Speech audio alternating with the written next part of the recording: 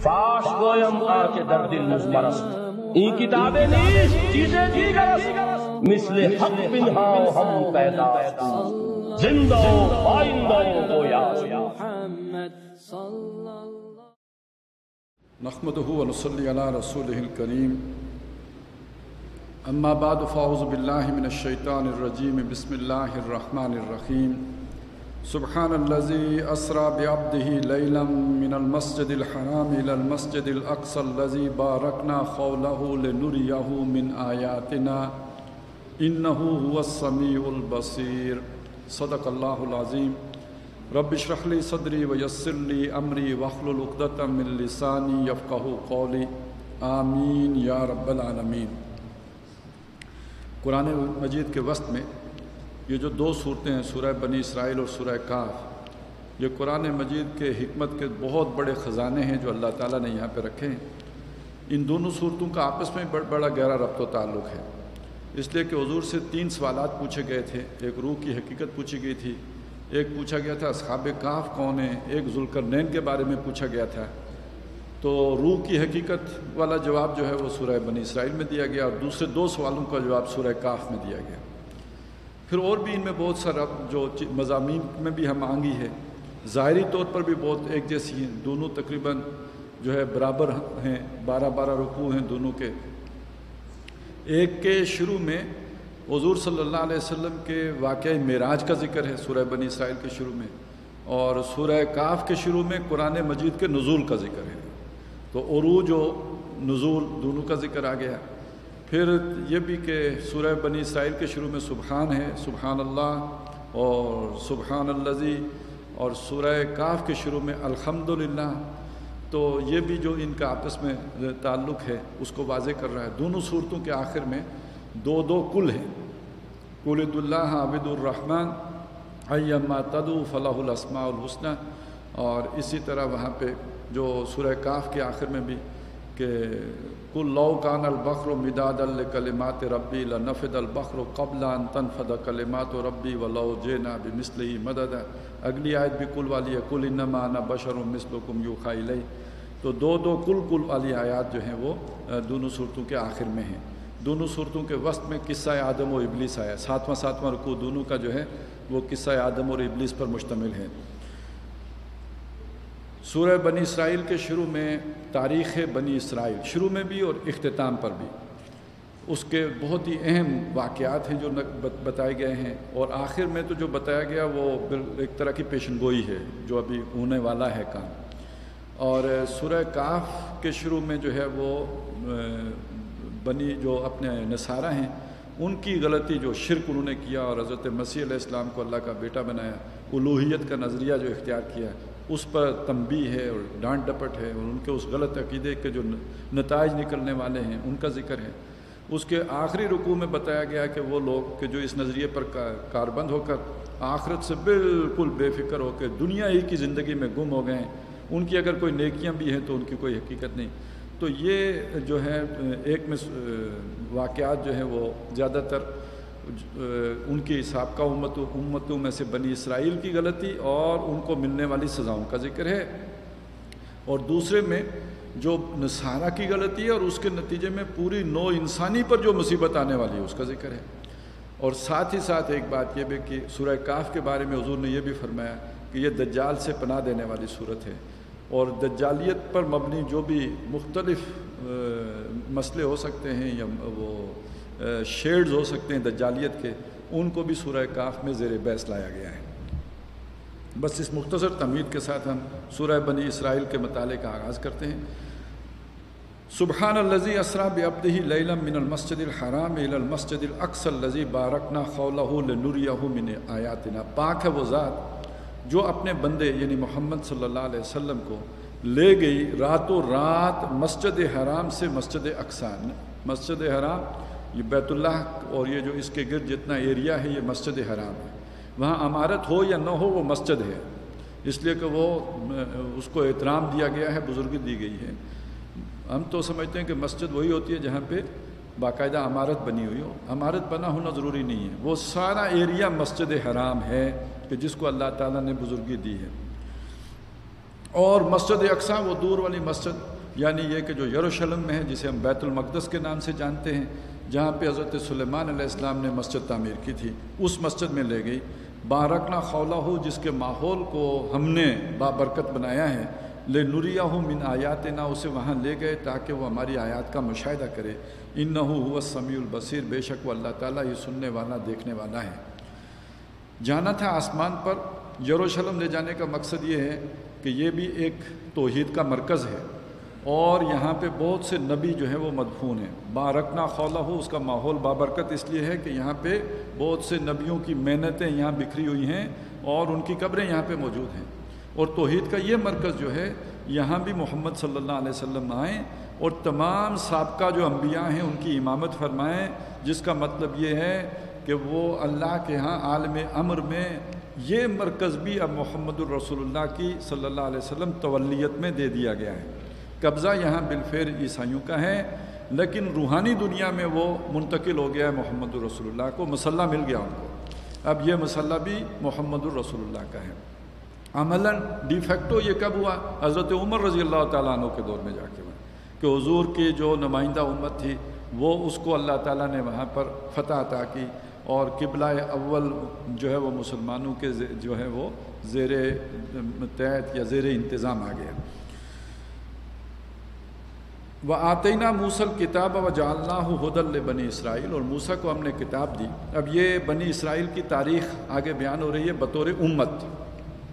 ایک تاریخ ہم نے پہلے پڑھی ہے، وہ بطور قوم ہے۔ یعقوب علیہ السلام، ان کے بیٹے ہیں بارہ، یہ بنی اسرائیل ہو گئے۔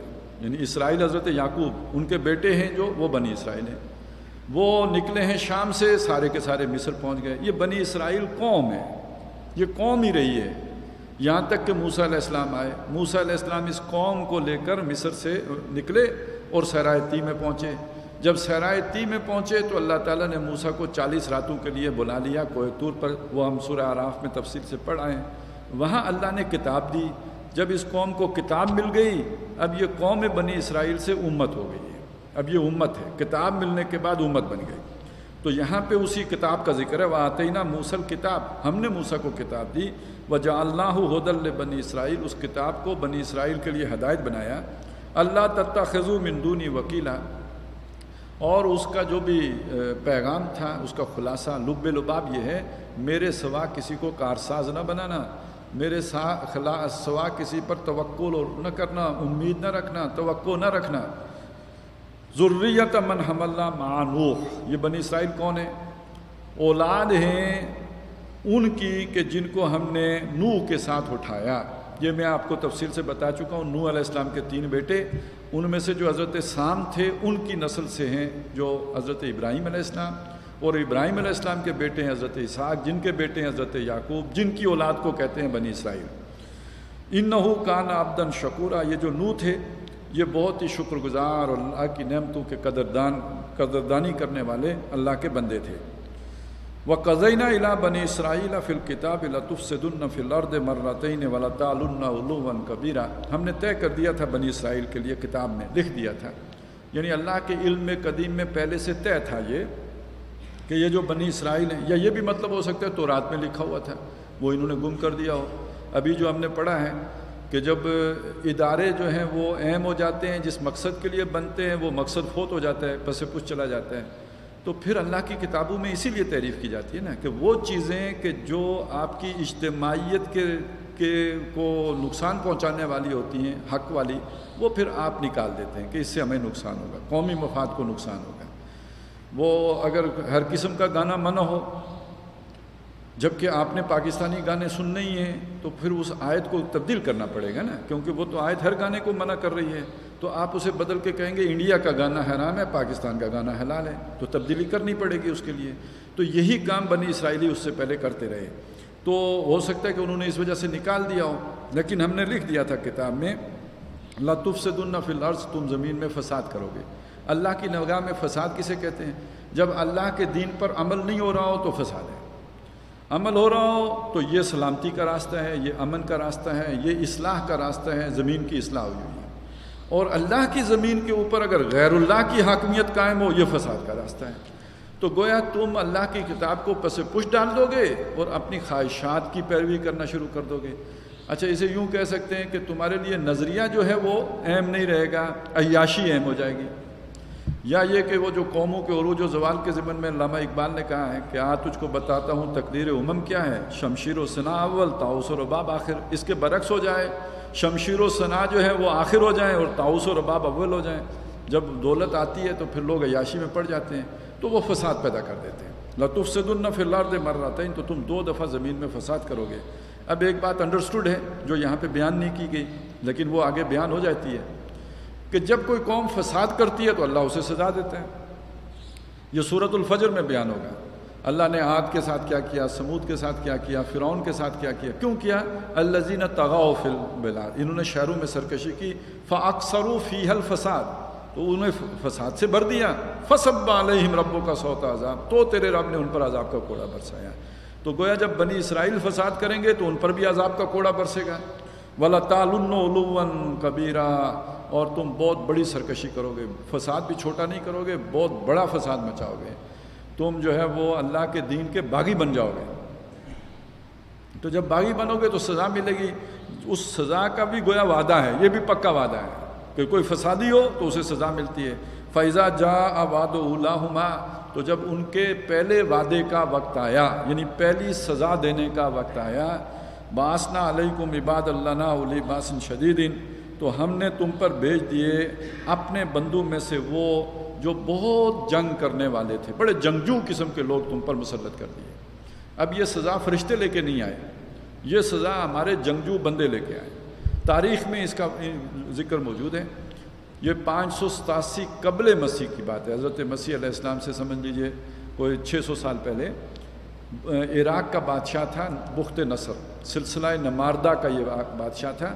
اور اس نے حملہ کیا ہے یروشلم پر، شام پر، اور چھ لاکھ آدمی جو ہے اس نے قتل کر دیے ان کے۔ اور چھ لاکھ کو غلام بنا کے عراق لے آیا ہے۔ اور کسی ایک آدمی کو بھی وہاں پہ باقی زندہ نہیں چھوڑا۔ ہے وہ جو ہم نے پڑھا تھا سورہ بقرہ میں او کل لذی مر اللہ کر یتن وحیہ خواب یتن اللہ عروشیہ حضرت عزیر علیہ السلام جب گزرے ایک بستی پر سے، اور اسے دیکھا کہ وہ اپنی چھتوں پر اوندھی پڑی ہوئی ہے۔ تو کہا اس کو اللہ اس طرح ہلاک اور برباد ہونے کے بعد دوبارہ کیسے آباد کرے گا؟ تو اللہ نے اسے سو سال سلا دیا اور اس کے بعد دوبارہ اٹھایا۔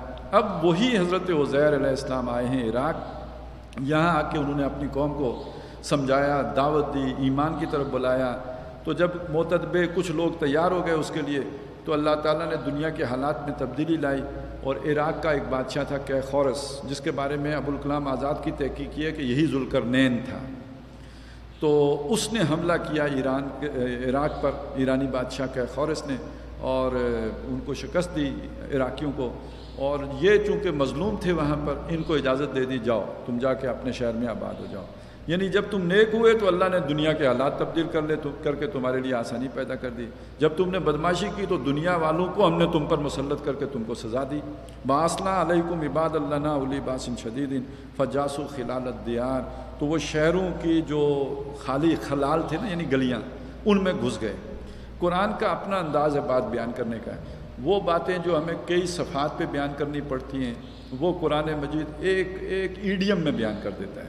وہ شہروں کی گلیوں میں گھس گئے، باقی خود سوچو، سیانے لوگوں کے لیے نا اولو الالباب کے لیے، وہ خود سوچو۔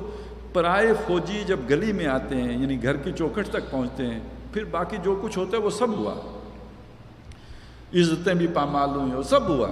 وہ فجاس و خلالت دیار و کان وعدہ مفولہ اور یہ اللہ کا وعدہ تھا جو پورا ہونا تھا۔ یہ کتنی تباہی آئی؟ صرف چھ لاکھ لوگ مرے ہی نہیں، صرف چھ لاکھ غلامی نہیں ہوئے۔ جو حضرت سلیمان علیہ السلام نے مسجد بنائی تھی، وہ گرا کے برابر کر دی گئی۔ ایک اینٹ اس کی باقی نہیں چھوڑی گئی۔ صرف یہی نہیں ہوا، حضرت موسیٰ علیہ السلام کو جو تورات ملی تھی، تختیوں میں لکھی ہوئی، وہ محفوظ تھی ابھی تک۔ تب گم ہوئی ہے، آج تک پھر نہیں ملی۔ اتنی بڑی تباہی آئی۔ جیسے ہوتا ہے نا جب بغداد پر جو ہے قبضہ ہوا تو آگ لگا دی گئی نا کتب خانوں کو۔ تو وہ جو پھر آگے لگتی ہیں اور جو فساد جب پرائی فوجیں داخل ہوتی ہیں، جو تباہیاں پھیرتی ہیں، وہ سب یروشلم میں۔ جیسے قرآن کے وہ الفاظ دیکھیں نا واہیا خوابیت اللہ عروش وہ بستی اپنی چھتوں پر ہوندی پڑی ہوئی تھی۔ گویا انہوں نے سب کچھ تلپٹ کر دیا۔ اگر مسجد نہیں چھوڑی تو گھر کو چھوڑا ہوگا۔ ہر شے ویران کر دی۔ اتنی بڑی تباہی آئی۔ سم رددنا لکم الکرت علیہم۔ پھر ہم نے تمہاری باری مقرر کی، تمہارے ردے لگائے، اب تمہارے دشمنوں کے مقابلے میں یعنی تمہیں ترقی دینا شروع کی۔ آہستہ آہستہ آہستہ تمہیں پروان چڑھایا۔ وہ امدد نا بے اموال ہم نے تمہاری امداد کی، ہم نے تمہیں مدد پہنچائی، ہم نے تمہیں طاقتور کیا، مالوں سے اور بیٹوں سے۔ وجعلناکم اکثر نفیرہ اور ہم نے تمہیں نفری میں بوت کر دیا۔ تمہاری نفری بڑھا دی۔ اللہ تعالیٰ بیٹوں کا زیادہ ہونا اپنے انعام کے طور پر بیان کرتا ہے۔ اور زخرف القول غرورہ والے چمپئن کیا کہتے ہیں؟ بچے، دو ہی اچھے۔ جملہ کتنا پیارا ہے۔ دھوکہ کتنا بڑا ہے۔ زخرف القول غرورہ یہی ہوتا ہے بات بڑی سنہری، مزین کی ہوئی، ملمہ کی ہوئی چکنی چپڑی، بیچ میں دھوکہ بیچ میں فراڈ۔ تو اللہ تعالیٰ تمہیں، اس نے تمہیں امداد دی بیٹوں سے بھی اور مال سے بھی۔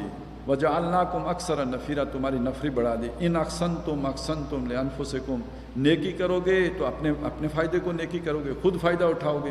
خود تمہیں جو ہے وہ اللہ عروج دے گا۔ وہی نسا تم فلاح برائی کرو گے، اس کا وبال بھی تم پر پڑے گا۔ ایک چھوٹے سے جملے میں قوموں کے اور خاص طور پر جو اللہ کی نمائندہ قوم ہو مسلمان قوم، اس کے عروج و زوال کے اصول بیان ہو گئے۔ نیک بنو گے، عروج پاؤ گے۔ برائی کا راستہ اختیار کرو گے، ٹھکائی ہوگی، مار پڑے گی، پٹو گے۔ فیضا جا آباد الآخرہ پھر جب دوسرے وعدے کا وقت آیا، اب یہ کیا ہوا؟ یہ کوئی جو ہے، ایک سو اٹھانوے قبل مسیح میں یہ ان کی دوسری سلطنت قائم ہو گئی۔ بڑی عظیم سلطنت مکابی سلطنت تاریخ میں اس کا ذکر ملتا ہے۔ اور بعض اعتبارات سے یہ حضرت سلیمان علیہ السلام سے بھی بڑی سلطنت تھی۔ رقبے کے اعتبار سے اس سے بڑا رقبہ ان کے پاس ان کی پوزیشن میں آتا تھا۔ لیکن یہ بھی پھر روشن خیال ہو گئے۔ وہی عیاشیوں میں پڑ گئے۔ تاؤس و رباب اول ہو گئے، شمشیر و ثنا آخر ہو گئے۔ نتیجہ کیا نکلا؟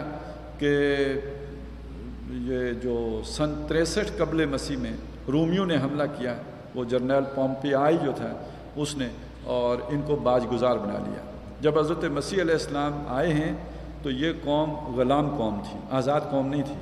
اور رومیوں کے غلامی میں زندگی گزار انہیں جزیہ دیتے تھے اور ان کو جو ہے وہ خراج دیتے تھے اپنی زندگی کا۔ ان کی مذہبی عدالتوں کو آزادی تھی، باقی یہ کہ ان کی آزادی سلب تھی۔ گورنر بیٹھا ہوا تھا روم کا یروشلم میں، جب حضرت مسیح علیہ السلام دعوت و تبلیغ کر رہے تھے۔ اب حضرت مسیح کا انہوں نے انکار کر دیا، نہ صرف انکار کر دیا، اپنے بس پڑتے سولی چڑھا دیا۔ وہ تو اللہ نے زندہ آسمان پہ اٹھا دیا۔ تو پھر ان کے دوسرا دوسرا عذاب بھی ہو گیا۔ شرارت اتنی بڑھ گئی۔ فساد جو کہا نا لطف سے دن فی الارض مراتین وہ چھوٹا موٹا فساد نہیں تھا۔ اللہ کے رسولوں کو بھی قتل کرتے تھے۔ اب اسی دور میں جو دوسرے نبی موجود تھے، حضرت یحییٰ علیہ السلام، جن کا ہم نے سورہ علیہ عمران میں بھی ذکر پڑھا، آگے سورہ مریم میں پھر پڑھیں گے۔ کہ وہ اللہ تعالیٰ نے موجزاتی طور پہ پیدا کیے تھے۔ حضرت ذکریہ جب بوڑھے ہو چکے تھے تو اللہ نے ان کو وہ بیٹا دیا تھا۔ تو یارسونی و یارس و من آل یعقوب، انہوں نے دعا مانگی تھی جو میرے بھی وراثت جو سنبھالے اور آل یعقوب کی وراثت بھی سنبھالے۔ وہ یہی علیہ السلام، ان کو ایک رکاسا کی فرمائش پر شہزادے نے قتل کر کے لا کے اس کی جولی میں ان کا سر ڈال دیا۔ اتنی اس حد تک جب وہ میں انہوں نے فساد پیدا کر دیا حضرت مسیح علیہ السلام کو سولی دے دی، اپنے بس پڑتے تو اب اللہ نے عذاب کی دوسری قسط جاری کر دی۔ یہ ٹائٹس رومی نے سن ستر عیسوی میں حملہ کیا ہے۔ اور تب یروشلم تباہ و برباد ہوا ہے۔ اس نے گیارہ لاکھ کے قریب مجموعی طور پہ مارے ہیں، لیکن صرف ایک دن میں ایک لاکھ تینتیس ہزار مارے ہیں۔ صرف ایک دن میں، ایک لاکھ اور اس دور میں، جب وہ سارے تلواروں ہی سے مرے ہوں گے ایک لاکھ تینتیس ہزار آدمی اس نے قتل کر دیا۔ اور یروشلم کو تباہ و برباد کر دیا، اسی طرح جیسے پہلے تباہ ہوا تھا۔ اور ہیکل دوبارہ تباہ ہوا ہے جو آج تک پھر نہیں دوبارہ تعمیر ہو سکتی سے بارہ نہیں تعمیر ہوا۔ اب یہودی اس کوشش میں ہے کہ اسے سے بارہ تعمیر کریں۔ بنیادیں تلاش کر رہے ہیں۔ آپ کو پتہ ہے وہ جو جھگڑا پڑا ہوا ہے، مسجد اقسا کے کو کیوں کھدائی کر دیتے ہیں کہ یہ گرے کہ اس کے نیچے سے وہ بنیادیں نکالیں۔ تو یہ کس نے تباہ؟ مسلمانوں نے تو نہیں تباہ کیا تھا۔ مسلمانوں سے حضور کی پیدائش سے بھی پانچ سو سال پہلے جو ہے یہ ٹائٹ ٹائٹس رومی نے تباہ کیا تھا۔ فیضا جا واد الآخرہ جب دوسرے وعدے کا وقت آیا یسو وجوہ تاکہ وہ تمہارے چہرے بگاڑ دیں۔ والے یدخل المسجد کما دخل اول مرہ اور مسجد میں داخل ہو جائیں جیسے وہ داخل ہوئے تھے پہلی مرتبہ۔ ولی و تبرو مالا تطبیرہ اور تباہ و برباد کر دیں۔ ہر شے جو انہیں بلند نظر آئے، خرابی کر دیں، ہر غالب چیز کو گرا دیں۔ اب یہ تاریخ بنی اسرائیل کی یاد رکھیے گا، اس میں ہمارے لیے بڑی رہنمائی ہے۔ اگلی صورت کو سمجھنے میں بھی بہت معاون ہوگی۔ اور اسی سورہ مبارکہ کے آخری حصے میں ایک اور تیسرے دور کا بھی ذکر ہے۔ فیضا جا آباد الآخرت جے نا بیکم لفیفہ آپ ذہن میں رکھیے، یہیں پہ سمجھ لیجیے اس بات کو۔ جب حضور تشریف لائے ہیں، تو یہ یروشلم میں آباد نہیں ہے یہودی، وہاں سے نکالے ہوئے ہیں یروشلم سے، وہاں پہ عیسائی بیٹھے ہوئے ہیں۔ اور عیسائیوں نے ان کے یروشلم میں داخلے پر پابندی لگا کے رکھی ہوئی ہے۔ اور یہ پوری دنیا میں تتر بتر ہیں۔ خود کہتے ہیں ڈایاسپورا ہے ہمارا، منتشر دنیا میں انتشار کا شکار۔ کوئی ایران میں ہے، کوئی روس میں ہے، کوئی پولینڈ میں ہے، کوئی جو ہے وہ کسی اور یورپین ملک میں سوئٹزرلینڈ میں ہے، افغانستان میں ہے۔ لیکن یہ کہ یروشلم میں کسی کا داخلہ نہیں ہے۔ تو اللہ تعالیٰ یہ کہہ رہے ہیں، حضور کے دور میں قرآن نازل ہو رہا ہے۔ اس موقع پہ ایک پیشن گوئی ہو رہی ہے کہ جب آخری وعدے کا وقت آئے گا یعنی ان دو وعدوں کے بعد اور آخری وعدے کے درمیان اور بھی بہت سے وعدے ہیں۔ ہٹلر بھی آئے گا، ساٹھ لاکھ کو وہ ٹھکانے لگائے گا۔ اور بھی بہت سے وعدے بیچ میں پورے ہوتے رہیں گے۔ لیکن جب سب سے آخری وعدے کا وقت آئے گا، تمہیں ہم لپیٹ کر واپس لے آئیں گے۔ لفیف، لفافہ ہوتا ہے نا جیسے، باندھ کر لے آئیں گے تمہیں واپس۔ آج دنیا میں منتشر ہو، پھر واپس آ جاؤ۔ تو یہ پروسیس شروع ہوا ہے انیس سو سترہ میں۔ آج سے یوں سمجھ لیجیے پورے سو سال پہلے۔ برطانیہ کا جو وزیر خارجہ تھا، اس نے اجازت لے کے دی کہ یہ آباد ہو سکتے ہیں یروشلم میں۔ پہلا مسلمانوں نے کہہ دیا تھا کہ ٹھیک ہے وزٹ کر سکتے ہیں۔ بالفور ڈکلیریشن میں طے ہو گیا کہ یہ یہاں آباد بھی ہو سکتے ہیں، گھر بھی لے سکتے ہیں، رہ بھی سکتے ہیں۔ پھر اڑتالیس میں انہوں نے ملک بنا لیا اسرائیل۔ سڑسٹھ میں اس کی توسیع کر کے بیت المقدس پر قبضہ بھی کر لیا۔ جو واپس بھی آ رہے ہیں، نئی آبادیاں جو ہو رہی ہیں۔ ابھی یہ جو سارا کچھ گڑمس ہونے والا ہے، مشرق وسطیٰ میں شروع ہو چکا ہے۔ اب یہ کہ مسلمانوں کا برے دن ہیں۔ لیکن اس سارے پروسیس کا آخری نتیجہ کیا نکلے گا؟ پوری دنیا سے کھچ کے یہودی اس علاقے میں آ جائیں گے۔ جے نا بیکم لفیفہ، جب جمع ہو چکے ہوں گے تو ہمارے آخری وعدے کا وقت آ جائے گا۔ یہ دجال کی قیادت میں جمع ہوں گے، اللہ مسیح علیہ السلامی کو واپس بھیجے گا۔ اور یہ سارا جسے یہ کہہ رہے ہیں نا، ہمارا گریٹر اسرائیل بنے گا، یہ ان کا گریٹر گریو یارڈ بن جائے گا۔ لیکن دوسری طرف جو ہمارے لیے اس میں نصیحتیں ہیں، وہ بھی انشاءاللہ کل ہمارے سامنے آئیں گی۔ جب میں وہاں پہ پہنچوں گا تو آپ کے پاس آپ کو بتاؤں گا کہ ہماری تاریخ بھی اس سے کوئی مختلف نہیں ہے۔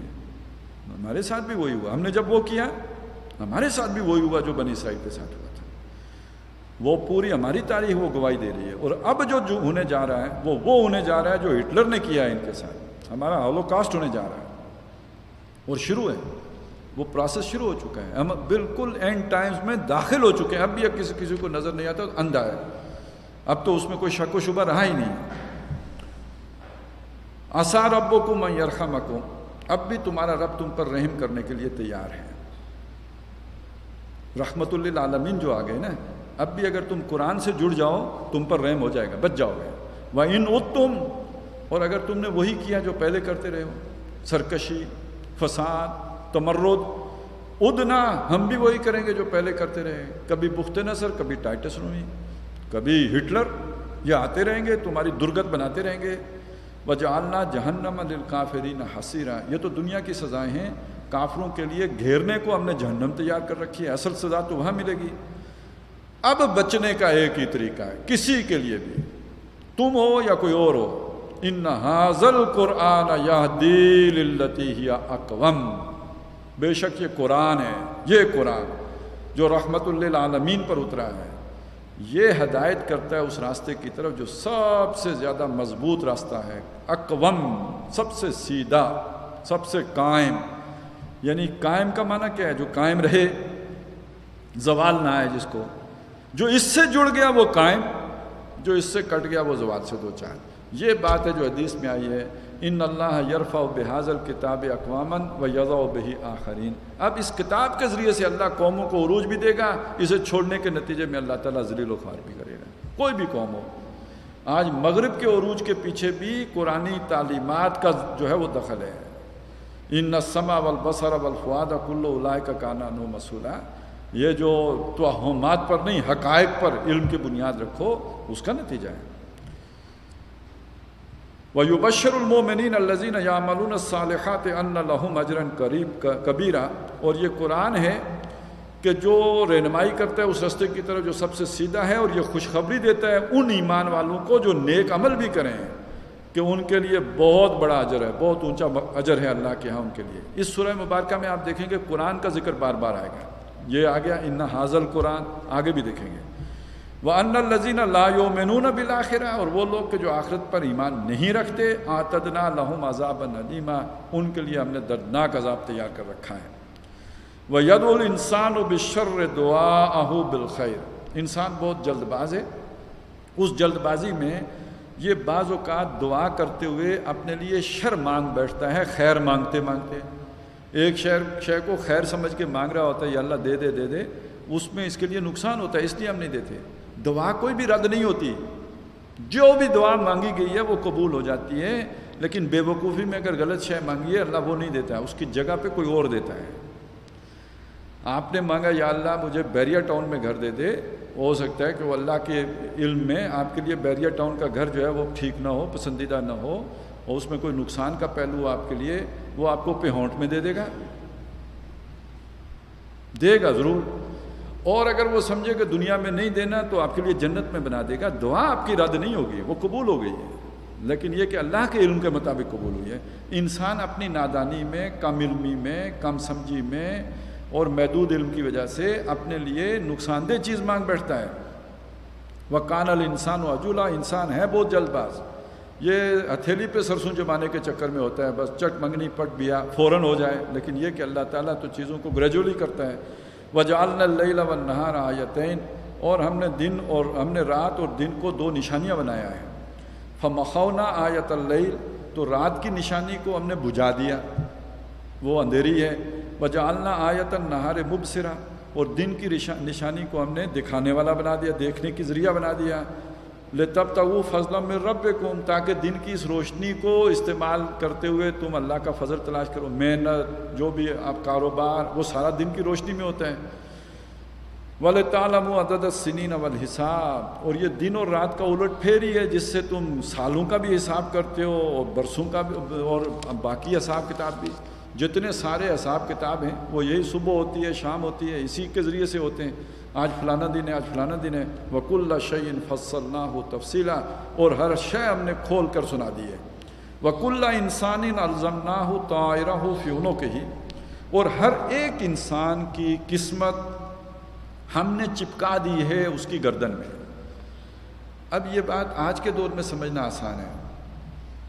کوئی چھوٹی سی چپ لگا دی ہو سارا امال نامہ جو کچھ بھی ہم کر رہے ہیں وہ وہاں پہ ریکارڈ ہو رہا۔ یہ مشرقین مکہ کو تو یہ بات سمجھانی بہت ہی مشکل تھی۔ لیکن یہ کہ آج ہم آپ نے تو شاید اتنا جو نوجوان ہیں انہیں نہیں پتا ہو کہ جی ایک گھنٹے کی جو ریکارڈنگ ہوتی تھی یا وہ اتنی ساری کیسٹ میں وہ کم از کم جو ہے سو ڈیڑھ سو گرام اس کا وزن ہوتا تھا۔ اور تین گھنٹے کی جو ویڈیو ریکارڈنگ ہوتی تھی، وہ تو کم از کم تین سو گرام کے قریب وہ کیسٹ ہوتی ہوگی اور وہ جیب میں تو نہیں آ سکتی تھی۔ اور اب گھنٹوں پر محیط، کئی کئی گھنٹے، وہ اتنا سا کارڈ ہوتا ہے، میموری کارڈ اس میں دے کے بیٹھ جاؤ، وہ جو ہے سنتے رہو، نہ ختم ہونے والا تو یہ جو اب آدمی جو جن چیزوں کو خود بنا کر ان کا مشاہدہ کر رہا ہے، اب یہ بات سمجھنا کوئی مشکل نہیں ہے کہ اللہ تعالیٰ نے کوئی اتنی باریک سی شے لگا دی ہو، گردن میں ڈال دی ہے، نظر نہیں آتی، وہ اتنی باریک ہو اور اس میں سارا کچھ ریکارڈ ہو رہا ہو، ساری ریکارڈنگ اس میں موجود ہو۔ اور وہی آخرت میں ادھر سے نکال کے آخر وہ ایک ڈی این اے سے پورا آدمی پورا بن جاتا ہے نا اب۔ تو اللہ کو ساری باڈی محفوظ کرنے کی تو ضرورت نہیں ہے نا۔ ایک ڈی این اے آپ کا لے لے گا اور آپ کی کلوننگ کر کے تو کھڑا کر دے گا، ادھر کیا مشکل ہے۔ اور وہ والا ایک چپ نکال کے جوائنٹ کمپیوٹر میں لگائے گا، آپ کا امال نامہ آپ کے سامنے۔ چلو، لو۔ تو ہر ایک کا الزم نہ ہو تائرہ ہو فیونوں کے ہی اس کے امال نامہ اس کی گردن میں ڈالا ہوا ہے۔ وہ نخر جو لہو یومل قیامت اسی کو نکالیں گے ہم قیامت کے دن کتابن کتاب کی صورت میں۔ اب یہاں کتاب بمانا ریکارڈ۔ ایک وہ جو ہے، اس کا پورا ریکارڈ یلکا ہو منشورہ، کھلی ہوئی کتاب اس کے سامنے رکھی ہوگی۔ اب خود پڑھو۔ اقرا کتابک، اپنا لمحہ پڑھ۔ یا جیسے دوسری جگہ پہ کہا، دیکھے گا۔ جو بھی اس نے عمل کیا کیا ہے یرا ہو اس عمل کو وہ دیکھ لے گا۔ تو گویا اس کے سامنے پوری فلم چل رہی ہوگی۔ اب اس کی مرضی ہے کہ وہ اس کو ریوائنڈ کر کر کے ریپلے کر کر کے دیکھے۔ مرضی ہے کہ سلو موشن میں دیکھے کہ میں ہی ہوں کوئی اور ہے۔ جس طرح مرضی دیکھو، اس کو کوئی اللہ تعالیٰ کے لیے اس کو تمہارا ریکارڈ سامنے لانا مشکل نہیں ہوگا۔ کفا بے نفس کل یوم علیہ کا حسیبہ کسی اور حساب لگانے والے کی ضرورت ہی نہیں۔ آج تم اپنا حساب لینے کے لیے خود ہی کافی ہو۔ وہ پرانے وقتوں کو میں امپائر کو انگلی کھڑی کرنی پڑتی تھی نا کہ رن آؤٹ ہو گیا یا نہیں ہو گیا۔ اب اسکرین پہ دیکھ کے خود ہی بیٹسمین کو پتہ لگ گیا ہوتا ہے کہ بھائی میرا کام تمام ہو گیا۔ تو وہ عمال نامہ دیکھ کر کوئی اور پوچھنے کی ضرورت ہی نہیں، تمہیں خود پتہ لگ جائے گا کہ تم کتنے پانی میں ہو۔ من احتدا فعنما یا تدیل نفسی جو ہدایت پر آیا تو وہ اپنے ہی بھلے کو اس نے ہدایت کا رستہ اختیار کیا۔ وہ من غلّہ فعنما یا علیہ جو گمراہ ہوا تو اس کی گمراہی کا وبال بھی اسی پر ہے۔ ولا تذر و واضح تم وزرا اخرا اور نہیں اٹھا کوئی وزن اٹھانے والی کسی دوسری جان کا وزن۔ وما کنہ معذبین حتیٰ نبا رسولہ اور ہم عذاب نہیں دیتے۔ مگر یہ کہ ہم رسول مبوس کرنے کے بعد۔ یعنی جو بھی بستیاں ہلاک کی گئیں، پہلے رسول بھیجا، اس کے بعد عذاب ہے آج بعض لوگ ایک بات کہتے ہیں مطلب کوئی بڑی تباہی کا ذکر آئے کہتے ہیں، نہ اب کوئی رسول آنا ہے، اب تو کوئی رسول ہی نہیں آنا ہے، اللہ عذاب دیتا ہے تو پہلے رسول بھیجتے ہیں۔ تو اگر یہ بات یہی ہو مفہوم اس کا، تو پھر قیامت کیسے آئے گی؟ سمجھ آئی میری بات کی؟ قیامت بھی تو اللہ کا عذاب ہے نا، تو اب رسول تو کسی نے نہیں آنا، تو کیوں آئے گی؟ تو سمجھ لیجیے، محمد الرسول اللہ صلی اللہ علیہ وسلم کے بعد وہ ضابطہ بدل گیا ہے۔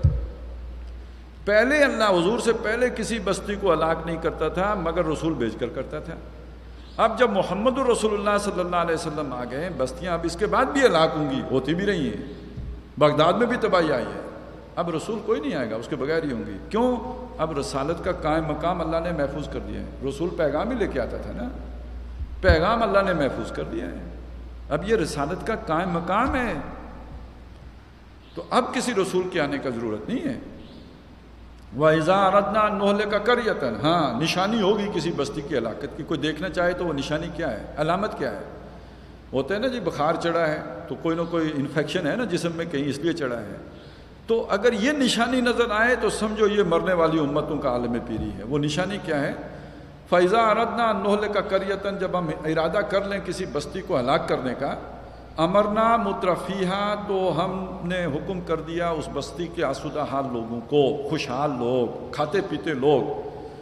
فسکوفیہ یعنی انہیں ہم نے چھوٹ دے دی، وہ خوب فسق و فجور کرتے رہے۔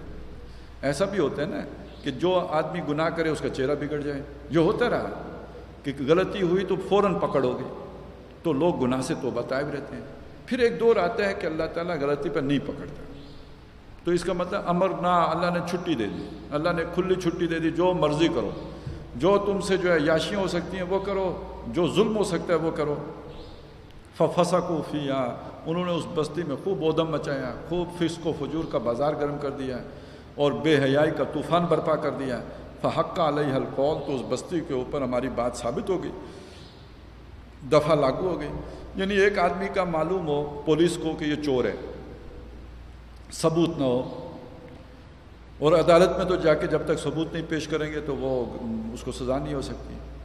تو اب پولیس اسے پکڑنے کے لیے پورا اہتمام کر کے اسے نہ پتہ ہو، لیکن یہ کہ کوئی چوری کی کرنے کے قابل چیز آگے پیچھے ڈال دے، تو وہ تو پھندا ہے نا۔ وہ کیمروں میں آ رہا ہوگا، سارا جو ہی کہ وہ ایک ثبوت پولیس کے پاس یا خفیہ ایجنسیوں کے پاس آ جائے گا۔ اب جب اسے گرفتار کیا جائے گا تو ثبوت کے ساتھ کیا جائے گا۔ اور پھر اس کے سامنے اس کا ثبوت بھی پیش کر آپ نے یہ کیا، یہ فوٹو دیکھیے۔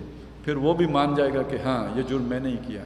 تو اسی طرح اللہ تعالیٰ بستیوں کو جب موقع دے دیتا ہے فسق و فجور کرنے کا، تو اس سے اللہ کی دفعہ لاگو ہوتی ہے ان کے اوپر۔ اللہ کے اس شکنجے میں کسے جاتے ہیں جو اس نے عذاب دینے کے لیے تیار کیا ہوتا ہے۔ فدمرنا تدمیرہ تو ہم نے اس کو اکھاڑ کر پٹک دیا، اس کی جڑ کاٹ دی۔ وہ کم حلقنا من القرون ممباد نوح اور یہ ہلاک کرنا ہمارے لیے کوئی مسئلہ نہیں ہے۔ نوح علیہ السلام کے بعد ہم نے کتنی بستیاں ہیں جو اجاڑ دی ہیں۔ سمود اور امورہ کی بستیاں اجاڑ دیں، قوم عاد کی بستی اجاڑ دی۔ بہت بستیاں ہیں جو تباہ و برباد کر دی ہیں۔ اور دو دفعہ تو یروشلم اجڑ چکا ہے۔ وہ کفا بے رب کا بے جنوب عباد ہی خبیرم بصیرہ اور تیرا رب کافی ہے اپنے بندوں کے گناہ کا حساب رکھنے کے لیے اور جاننے کے لیے اور باخبر رہنے کے لیے اور دیکھنے کو۔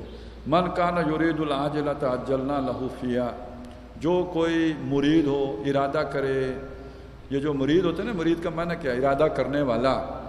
فلاں پیر کا مرید ہے یعنی اس نے ان کے ساتھ ارادہ کر لیا ہے۔ تبلیغ والے بھی آ کے کہتے ہیں، ارادہ کرو۔ تو جس نے دنیا کا ارادہ کر لیا، جو مرید دنیا ہو گیا، اجلنا لہو آجلا کہا ہے دنیا کو۔ اس لیے کہا ہے کہ اس کا سودا جلدی ہے۔ ادھر محنت کی، ادھر پھل مل گیا۔ یہاں سودا دست بدستی ہے، اس ہاتھ دے، اس ہاتھ لے۔ اجلنا لہو فیا ہم بھی جلدی اس کو، اس کا یہاں کا حساب دے دیتے ہیں۔ ماں نشا جتنا چاہتے ہیں، لمن نورید جس کو چاہیں۔ بہت سے ہوتے ہیں، بڑی محنت کرتے ہیں، ملتا کچھ نہیں۔ لیکن یہ کہ کچھ کو ہم دے دیتے ہیں۔ سم جالنا لہو جہنم، پھر اس کے لیے ہم نے دوزخ رکھی ہوئی ہے۔ دنیا میں تو اس نے اپنا حصہ وصول کر لیا۔ جو بھی تھا، مل لیا یاشی کر لی، قارون جیسی دولت مل گئی۔ لیکن آخرت میں اس کے لیے دوزخ ہے۔ یسلاحہ اس میں وہ داخل ہوگا مضموم مدخورا، مذمت زدہ ہو کر دھکے دیے جا کر، دھکیل کر، دھکے کھا کر اور ذلیل ہو کر داخل ہوگا وہ من اراد الآخرت اور جو ارادہ کر لے، جو مرید ہو جائے آخرت کا، جس نے ٹھان لی آخرت بنانے کی وہ سالہ سایہ پھر اس کے اس کے لیے محنت بھی کی، جیسے کہ محنت کی جاتی ہے، اس نے تگو دو کی وہ ہوا مومن اور وہ تھا بھی ایمان لانے والا۔ فولا کا کان سا مشکورہ تو اس کی محنت رنگ لائے گی، اس کی محنت کی قدردانی کی جائے گی، اس کی محنت کا اسے پھل دیا جائے گا۔ کل نمد ہا اولائے وہا اولائے منتا ربک سب کو ہم بڑھاتے ہیں، امداد دیتے ہیں، سب کو ان کی مدد کرتے ہیں۔ ان کی بھی اور ان کی بھی۔ یہ کون ہے یعنی ان کی یہ دنیا والے، ان کی یہ آخرت والے۔ جو طالب دنیا ہیں، مرید دنیا ہیں، اس کی بھی ہم مدد کرتے ہیں۔ اس کے پاس بھی جو کچھ ہے، ہمارا ہی دیا ہوا ہے، ہم نے ہی دیا ہے۔ اس کی اپنی محنت کے پھل میں نہیں ملا، یہ ہماری عطا ہے اس کو بھی۔ اور وہ جو جس کو، جو آخرت کا مرید ہے، وہ جو اعمال کر رہا ہے، جو نمازیں پڑھ رہا ہے، جو تعجد پڑھ رہا ہے، جو راتوں کو جاگ رہا ہے، جو قرآن سیکھ رہا ہے، سکھا رہا ہے، یہ بھی ہماری عطا ہے، یہ بھی ہماری دین ہے۔ کل نمد ہاولا ہے وہ ہاولا دونوں کو ہم مدد دے رہے ہیں۔ من عطا ربک، یہ تیرے رب کی عطا سے ہے۔ ایک واقعہ مجھے یاد آیا۔ ہمارے ایک اللہ تعالیٰ ان کی مفرت فرمائے، فوت ہو گئے۔ وکیل تھے اور تنظیم میں شامل تھے، رفیق تھے تنظیم کے۔ تو الطاف صاحب، لاہور کے وکیل، وہ وہاں کے رہنے والے، پرانے رفقا میں سے، شاید تاسیسی اراکین میں سے تھے۔ تو وہ پوسٹر لگا رہے تھے رات کو کہیں۔ انہوں نے اپنا واقعہ سنایا کہ میں پوسٹر لگا رہا درس سے قرآن کا پوسٹر لگا رہے تھے۔ اور اکیلا تھا۔ تو میں جب اس گلی میں فارغ ہو کے دوسری طرف سے گھوم کے آیا تو ایک پوسٹر بھی نہیں تھا۔ سارے کسی نے اتار لیے تھے۔ وہ تازے تازے ابھی گوند لگی ہوئی تھی تو اتار سریج سے اتر بھی گئے۔ کہتے میں نے دوسری گلی میں لگا کے ادھر سے فارغ ہو کے آیا تو اس میں بھی ختم۔ تو میں نے یہ کیا کہ ایک جگہ پہ پوسٹر لگا کے چھپ کے بیٹھ گیا اندھیرے میں کہ دیکھوں یہ حرکت کرتا کون ہے۔ ایک صاحب آئے اور میرے سامنے آ کے انہوں نے پوسٹر اتارا۔ وہ ادھر سے فارغ ہوئے تو پیچھے میں کھڑا تھا۔ جب مڑے تو میں نے کہا، دیکھو اللہ نے کام تقسیم کر رکھے ہیں۔ مجھے پوسٹر لگانے کی ڈیوٹی دی ہوئی ہے، آپ کو اتارنے کی ڈیوٹی دی ہوئی ہے۔ اپنا اپنا پھل پائیں گے، اپنی اپنی محنت کا سلا ملے گا۔ تو یہ اللہ نے ڈیوٹیاں تقسیم کی۔ ان کو بھی اللہ ہی مدد دے رہا ہے، ان کو بھی اللہ ہی مدد دے رہا ہے۔ ہاں کل نمد ہا اولا اولا منا ربک وما کانا تا رب کا مخضورہ اور تیرے رب کی عطا ایسی نہیں ہے کہ اسے روکا جائے۔ اس کو کوئی روک رکاوٹ نہیں ہے۔ انظر کیف فضلنا بعضهم على بعض۔ دیکھو، ہم نے بعض کو بعض پر کیسی فضیلت دی ہے؟ کوئی دیہات میں رہتا ہے، کوئی شہر میں رہتا ہے، کوئی مزدوری کرتا ہے، کوئی جو ہے سیٹ ہے، عیاشیاں کرتا ہے۔ اور کتنا فرق ہے، رہائشوں میں کتنا فرق ہے، زندگیوں کے طور طریقوں میں کتنا فرق ہے۔ تو کیسے ہم نے بعض کو بعض پر فضیلت دی ہے؟ ولل آخرا تو اکبر و درجاتم و اکبر و تفضیلہ اور آخرت میں تو درجوں کا بھی اور فضیلتوں کا بھی بہت بڑا بڑا فرق ہوگا۔ وہاں تو جو جنت میں بھی ہوں گے، نچلے درجے کا جنتی اوپر والے کو یوں دیکھے گا جیسے زمین پر آج ہم بیٹھ کے ستارے دیکھتے ہیں۔ تو کیا فرق ہے؟ یہاں بہت بڑا فرق ہوگا تو کیا ہوگا؟ کوئی پاکستان جیسے ملک میں ہوگا تو کوئی بہت ہوا تو سوئٹزرلینڈ میں ہوگا۔ امریکہ میں ہوگا، یورپ میں ہوگا۔ بھائی، اتنا ہی فرق ہوگا نا۔ وہاں پہ کتنا بڑا فرق ہوگا؟ یا ایک دوزخ میں ہے، ایک جنت میں۔ ہے اور جو جنت میں بھی نچلے درجے میں ہیں، وہ اوپر والے درجے کو یوں دیکھ رہے ہیں جیسے یہاں زمین سے بیٹھ کے ستارے دیکھے جاتے ہیں۔ کتنا بڑا فرق ہے۔ ولا ولا آخرت و اکبر و درا درجاتم و اکبر و تفضیلا لا تجال ما اللہ الہن آخر۔ دیکھو اللہ کے ساتھ کسی اور معبود کو اختیار نہ کرو۔ فتح خدا مضموم مخضولہ تو پھر بیٹھ رہو گے الزام مذمت زدہ ہو کر اور رسوا ہو کر۔ وہ قضا رب کا اللہ تعبد اللہ یا ہوا بالوالدین احسانہ یہ جو اب دو رکوع ہیں، ان کے بارے میں ایک رائے تو یہ ہے کہ یہ اصل میں تورات کے جو احکام اشرا ہیں، ان کا خلاصہ ہے جو قرآن یا قرآن ورژن ہے ان کا۔ یہ جو اللہ تعالیٰ نے ان دو رکوعوں میں ان ساری تعلیمات کا لب لباب خلاصہ بیان کر دیا ہے۔ اور اسی میں ایک بات اور بھی سمجھ لیجیے کہ جو ہم نے آیت پڑھی تھی وہ جو جمعے میں پڑھی جاتی ہے خطبے میں، ان اللہ یام رب العدل ولیسان و ایتائز القربہ و ینحان الفقشائے والمنکر والباغ اللہ حکم بھی دیتا ہے، اللہ منع بھی کرتا ہے۔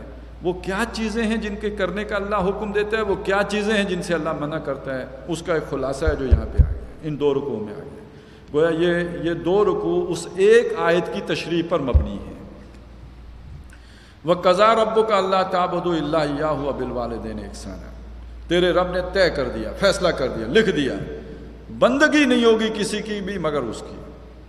اور والدین کے ساتھ احسان ہوگا۔ ان اللہ یامر بالعدل۔ سب سے بڑا عدل تو یہ ہے، انصاف تو یہ ہے کہ بندگی اللہ کے علاوہ کسی کی نہیں کرنی۔ نہیں تو ظلم ہے۔ ان نہ شرک اللہ ظلم و نظیم اگر یہ عدل نہیں کر سکے تو پھر تو ظلم کر دیا۔ پہلا پتھر ہی ظلم کا رکھ دیا پھر۔ اور اس کے بعد احسان کیا؟ ان اللہ یامر بالعدل ول احسان احسان ماں باپ کے ساتھ۔ ماں باپ کے ساتھ حسن سلوک۔ اما یب لغن اندقل کی بار آخد اگر ان دو میں سے کوئی ایک تمہارے پاس بڑھاپے کی عمر کو پہنچ جائے، جو وہاں پہ تھا نا وہ من کم میں یورد و الا ارزل عمر جو نکمی عمر ہے، اس کو کوئی پہنچ گیا ہے۔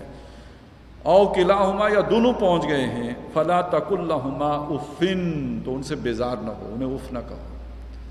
کیونکہ وہ جس عمر کو پہنچ گئے ہیں وہاں بہت سی باتیں ایسی ہوں گی کہ جو تمہیں، تمہارا دماغ گرم کر دیں گی۔ اب وہ جو بات میں نے کہا تھا نا، ابھی پوچھا کہاں سے، کدھر گئے تھے؟ جی پنڈی گیا تھا، پھر پانچ منٹ کے بعد پوچھیں گے، کل کہاں تھے؟ جی پنڈی تھا۔ اچھا تو کل کیوں نہیں ملے تھے؟ تو جی پنڈی گیا ہوا تھا۔ تو بار بار وہ، وہی سوال دورا دورا کے آئے گا۔ آدمی کو تب چڑھ جائے گی یا نہیں؟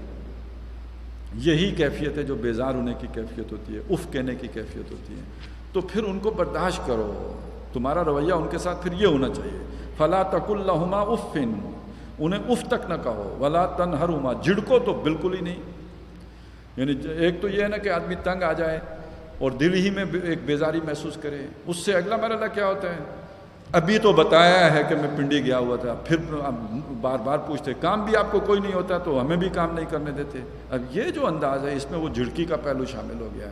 تو ولا تنہر ہما انہیں جھڑکو مت۔ وکل ہما قولن کریمہ بلکہ ان سے بات کرو بہت ہی ادب سے اور ان کے ادب کا ملوز رکھتے ہوئے۔ وقف ہما جناخذل اور اپنے کندھے ان کے آگے آجزی سے جھکا کے رکھو۔ من الرحمہ نیاز مندی کے ساتھ، رحمت کے ساتھ۔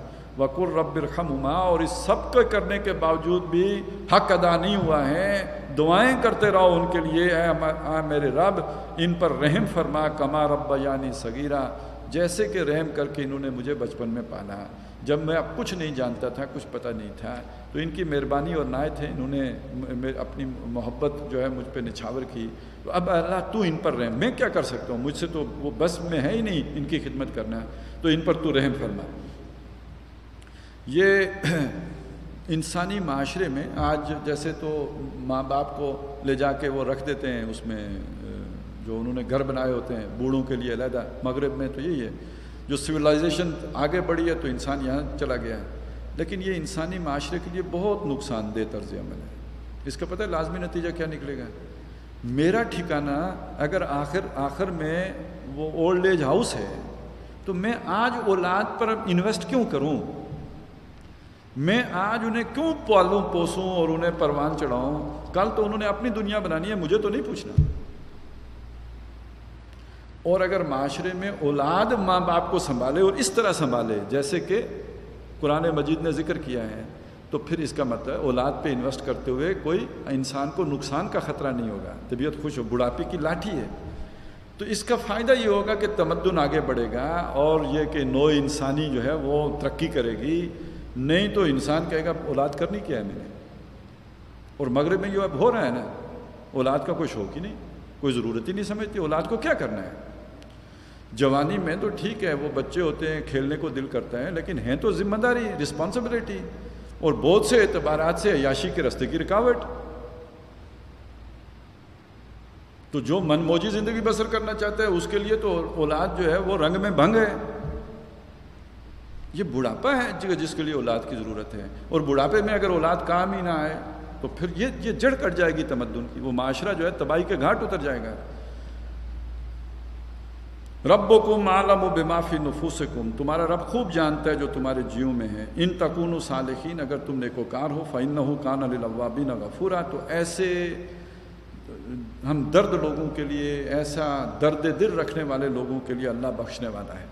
یعنی یہ کہ تم اپنی تمام تر کوششوں کے باوجود اگر انہیں راضی نہ کر سکو، یا یہ کہ اپنی مجبوریوں کی وجہ سے ان کی ساری خواہشات پوری نہ کر سکو، لیکن تمہاری نیت ہے ان کے ساتھ اچھا سلوک کرنے کی، بدنیت ہی نہیں ہے، تو اللہ تعالیٰ ان تمہاری کمزوریوں کے باوجود کہ وہ نہیں راضی ہوئے، اللہ راضی ہو جائے گا۔ تم اپنی طرف سے جو بن سکتا ہے وہ کرو، وہ راضی ہوتے ہیں یا نہیں راضی ہوتے، یہ ایجنڈا نہیں ہے۔ وہ اللہ راضی ہو جائے گا اگر تم نے اپنا میکسیمم جو ہے وہ کر لیا۔ وہ آتز القربہ حق کا ہو اب اس کے بعد جو معاشرے میں وہ لوگ جو پیچھے رہ گئے ہیں، زندگی کی دوڑ میں قریبی رشتہ دار ہیں، تو ان کو ان کا حق دو۔ اب یہ دیکھیے قرآن نے انداز کیا اختیار کیا ہے۔ یعنی اللہ نے تو راشن سب کے لیے برابر بنایا تھا۔ آزمائش کے لیے کسی کو زیادہ دے دیا، کسی کو تھوڑا دے دیا۔ تو اس کا مطلب دوسرے کا حق میرے پاس آ گیا۔ تو وہ جو پیچھے رہ گئے، ان کا حق ان کو دو۔ والمسکین اور محتاجوں کو بھی دو وبن صبیر اور مسافروں کو بھی۔ ولا تو بزر تبزیرہ اللہ کے اس دیے ہوئے مال کو عیاشی میں نہ اڑاؤ۔ فضول خرچیاں نہ کرو، اپنی ضرورت پوری کرو۔ جو بچا ہے، اسے اس مصرف میں لاؤ کہ جو زندگی کی دوڑ میں پیچھے ہیں، ان کا بھی لیونگ سٹینڈرڈ اونچا کرو۔ انہیں بھی معاشرے کے جو ہے وہ اچھے شہری بننے کا موقع دو۔ ان المبذرین کان و اخوان الشیاطین، جن کو اللہ نے زیادہ دیا ہو۔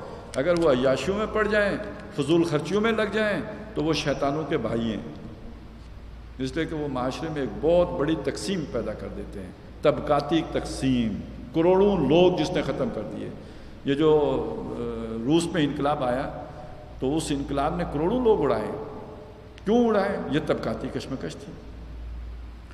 اس طبقات، اور فرانس کا انقلاب وہ بھی تو اسی طبقاتی کشمکش کا نتیجہ ہے۔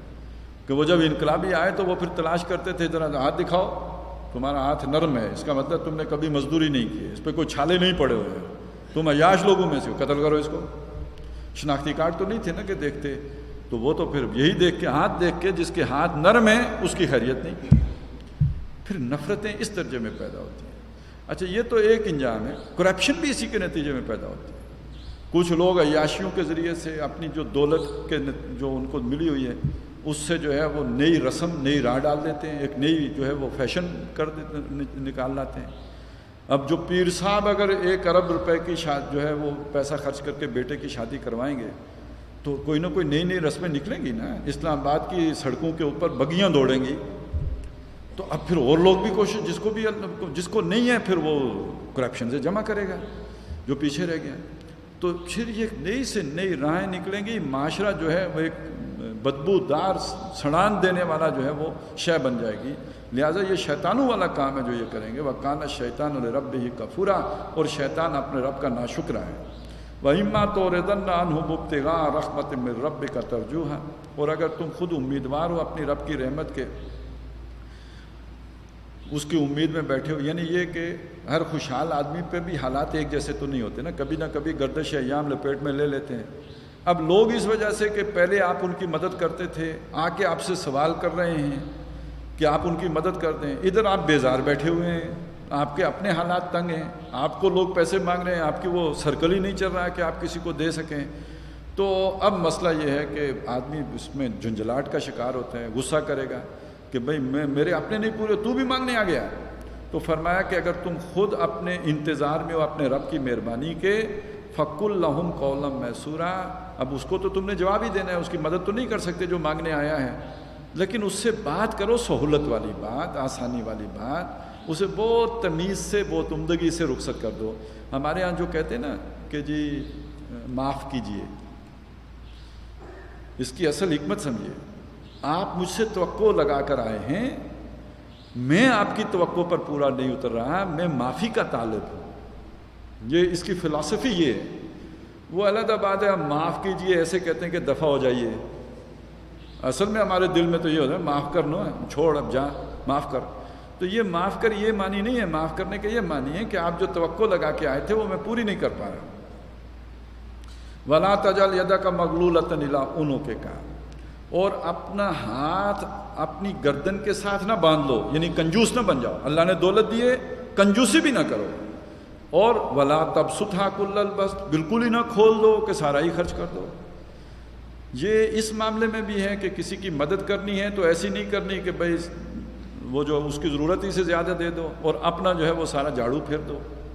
اور یہ بھی نہیں کہ بالکل ہی نہیں مدد کرنی، اس معنی میں بھی ہے۔ اور اس معنی میں بھی ہے کہ اپنے گھر کے خرچے میں بھی نہ کنجوس بنو اور نہ فضول خرچ بنو۔ فتح قدم اور اگر تم نے ان میں سے کچھ بھی کیا، فتح کو یعنی وہ سارا ہی دے دیا اگر اس کو۔ فتح قدہ معلوم مقصورہ تو بعد میں الزام کھایا ہوا اور ہارا ہوا بن کے بیٹھے رہو گے۔ اپنی ضرورت نہیں پوری ہو سکے گی تو پھر کیا کرو گے؟ ان نہ رب کا یبسط الرزق لے میں شاہ تیرا رب رزق دیتا ہے جس کو چاہتا ہے پھیلا کر۔ کسی کو روزی زیادہ دے دیتا ہے۔ وہ یکدر کسی کو تھوڑا دیتا ہے۔ اسی میں امتحان ہے۔ اسی میں امتحان ہے۔ وہ زیادہ والے، تھوڑے والے کا خیال کرتا ہے یا نہیں کرتا ہے؟ اور اس اور زیادہ والا شکر گزار ہوتا ہے یا نہیں؟ اور تھوڑے والا صبر کرتا ہے یا نہیں؟ ان نہ ہو کانا بے عباد ہی خبیرم بصیرہ بے شک وہ اپنے بندوں کے بارے میں باخبر ہے اور دیکھتا ہے۔ اس میں ایک اور حکمت کی بات آ گئی ہے۔ ذرا تھوڑی گہری بات ہے کہ دیکھیے، آپ کے ہی دو بیٹے ہوں۔ ان میں سے ایک ذرا سمجھدار ہو اور ذرا ڈسپلنڈ بھی ہو۔ ویل آرگنائزڈ ہو۔ اور دوسرا ذرا جو ہے، بیٹا آپ ہی کا ہے، لیکن اس وہ ذرا اتنا اس کا کنٹرول نہیں ہے، اس کی کوئی مینیجریل صلاحیت اس کے اندر نہیں ہے۔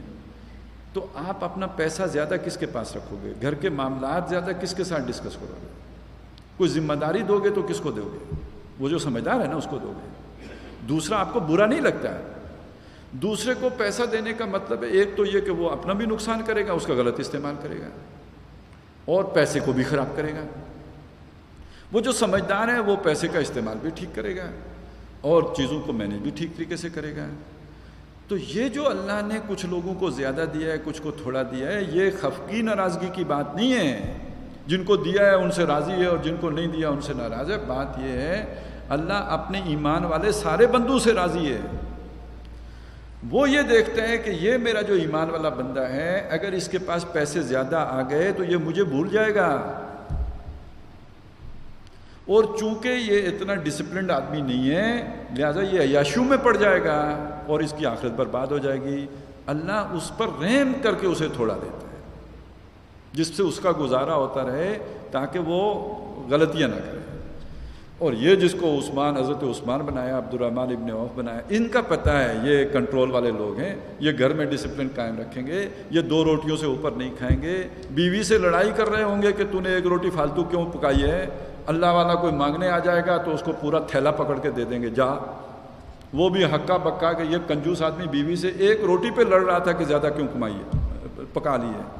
مجھے پوری تھیلی پکڑا دی، اس نے پوچھا سوال کیا حضرت عثمان سے کہ یہ آگے مجھے سمجھ نہیں آئی۔ انہوں نے کہا کہ یہ جو ہم گھر میں کھائیں گے نا، اس کا اللہ کو حساب دیں گے۔ جو تجھے دیا ہے، اس کا کوئی حساب ہم نے نہیں دینا ہے۔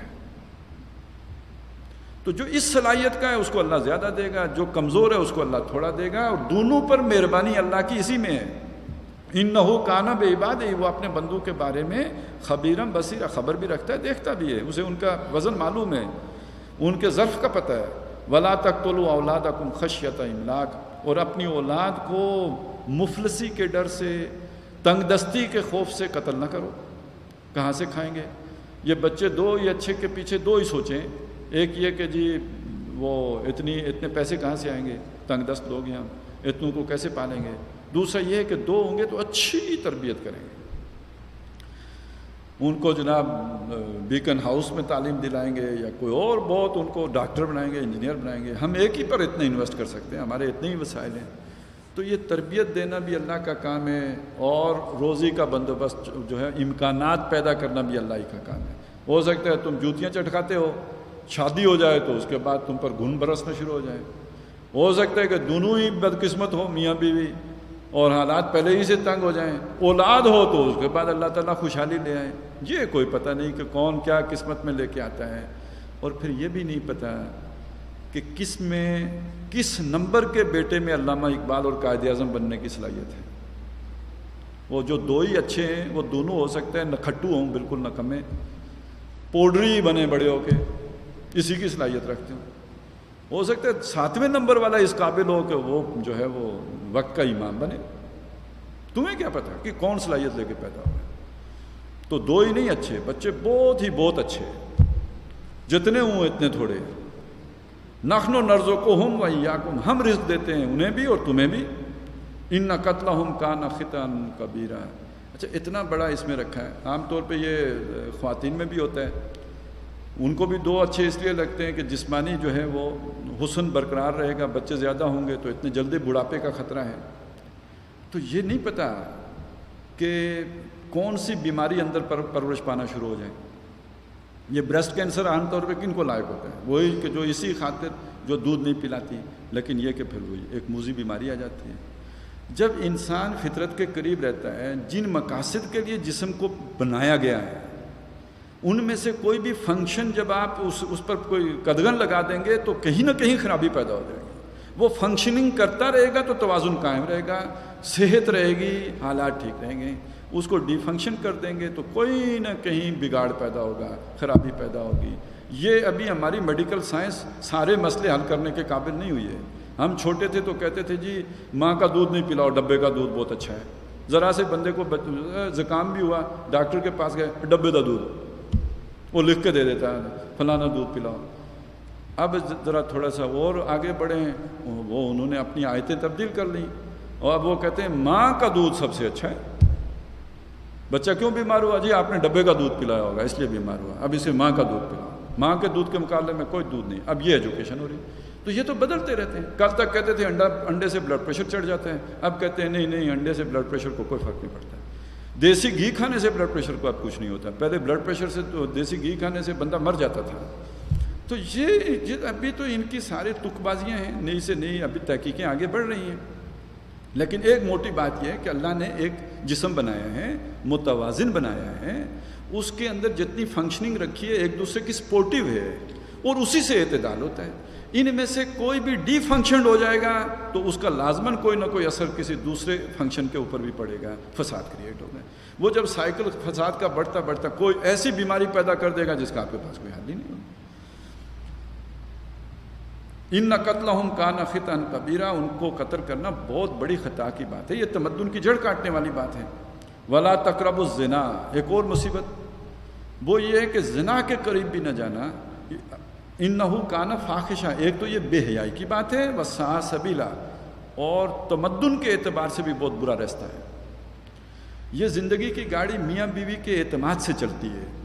جو ان کے ایک دوسرے کے لیے سنسیئر ہوتے ہیں، ایک دوسرے پر اعتماد کرتے ہیں، ایک دوسرے کے لیے قربانی دیتے ہیں، اور جتنا ان کا آپس میں اعتماد ہوتا ہے ان کی اولاد کی تربیت اتنی شاندار ہوتی ہے۔ غیر محسوس طور پر وہ ان کی جو آپس میں ایک محبت ہے اور تعلق ہے، اس کے اثرات ان کی اولاد پر پڑیں گے۔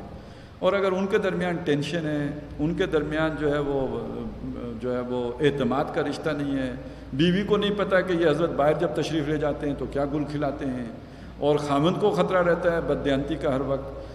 تو جب جب گھر کا ماحول ایسا ہو کہ کوئی اعتماد نہ ہو، تو وہاں جو اولاد پروان چڑھے گی، وہ بہرحال معاشرے کے لیے صحت مند اولاد نہیں ہے۔ سائکی پرابلم لے کے آئیں گے، سائے کو ہوں گے۔ تو یہ زنا کے قریب نہ جاؤ، اس کے بہت نقصانات ہوتے ہیں۔ ولا تخت النفس التی حرم اللہ اللہ بالحق۔ جس چیز کو آج ہم بہت زیادہ پروموٹ کرتے ہیں، وہ جی کسی کو قتل نہ کریں، یہ کتنے نمبر پر آ رہا ہے؟ زنا کے بھی بعد آ رہا ہے۔ اس کا مطلب یہ ہے کہ قتل ناحق کا بھی بہت بڑا نقصان ہے۔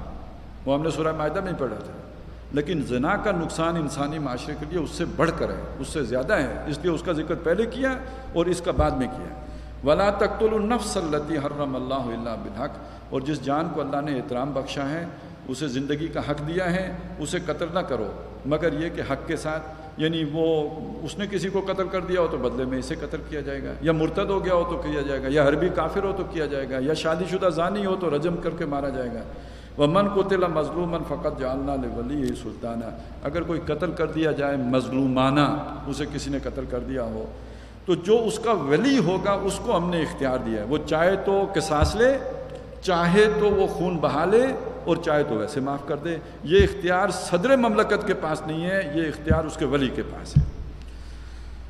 فلاں یسرف القتل، تو قتل میں زیادتی نہ کرو۔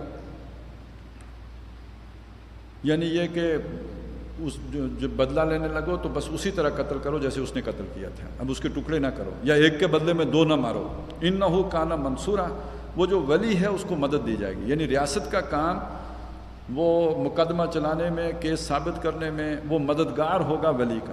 یعنی یہ قبائلی معاشرے میں کیا ہوتا ہے؟ کوئی قتل ہو گیا، اب اس کے ولی نے بدلہ لینا ہے، بدلہ لے گا اپنے زور بازو سے۔ اب اسلام نے ایک نظام دے دیا ہے، اس میں اگر زور بازو نہیں بھی ہے، تو ریاست کا بازو استعمال ہوگا اس کی مدد میں، کہ وہ اس کے جو قاتل ہے، اسے پکڑے گی اس اس پر کیس چلائے گی، مقدمہ بنائے گی، ثابت کرے گی کہ یہی قاتل ہے اور جب سزا دینے کی باری آئے گی، اختیار ولی کے پاس ہوگا۔ وہ چاہے تو معاف کر دے اور چاہے تو سزا دلا دے۔ ولا تقرب و مال الیتیم اور یتیم کے مال کے قریب نہ جاؤ۔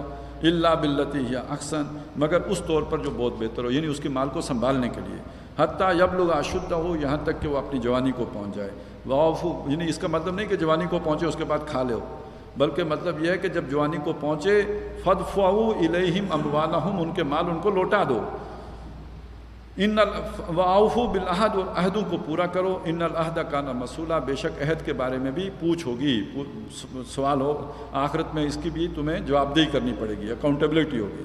واؤف القیلا اضا کل تم اور جب تم ناپو تو پورا ناپو۔ وزن و بالکستال سل مستقیم اور جب تولو تو سیدھی ڈنڈی رکھو، ڈنڈی نہ مارو۔ ظال کا خیرون، یہ بہت بہتر ہے۔ وہ اکثر و تعویلہ انجام بھی اسی کا اچھا ہے۔ جو ایماندار تاجر ہوتے ہیں اس کا کاروبار چمکتا ہے۔ بے ایمانوں کے کچھ دن ہوتے ہیں یاشی کے، لیکن یہ کہ پھر دڑام سے گرتا ہے سب ولا تقف ماں لئی کا بھی علم۔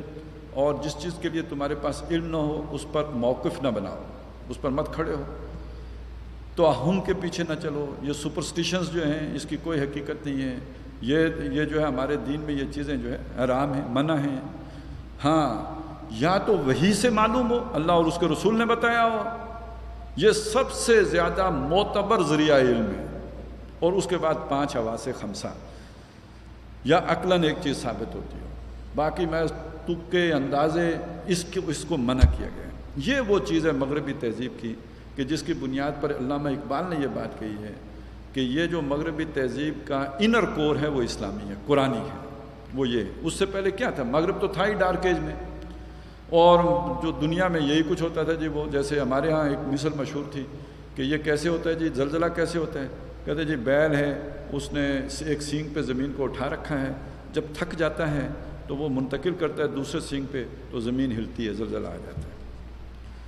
سکرات تک کے زمانے میں جو یہ ایک عام مت چلی آ رہی ہے کہ عورتیں ناقص العقل ہوتی ہیں، تو سکرات بھی اس بات کا قائل تھا۔ یہ ارستو، سکرات نہیں، سکرات تو کم شے، ارستو بہت بڑی شے بوڑا جو امام منطق، اس وہ بھی اس بات کا قائل تھا کہ عورتیں ناقص العقل ہوتی ہیں۔ اس سے کسی نے پوچھا، وجہ کیا ہے؟ علت کیا ہے عورت کے ناقص العقل ہونے کی؟ اس نے کہا، اس کے منہ میں بتیس دانت نہیں ہوتے۔ اتنی تکلیف زندگی میں نہیں کی کہ آپ کم از کم گھر والی کا ہی منہ کھول کے دیکھ لے کہ بتیس ہیں یا اٹھائیس ہیں یا کیا ہے وہ بس سنی ہوئی بات ہے، بتیس دانت نہیں ہوتے اس کے۔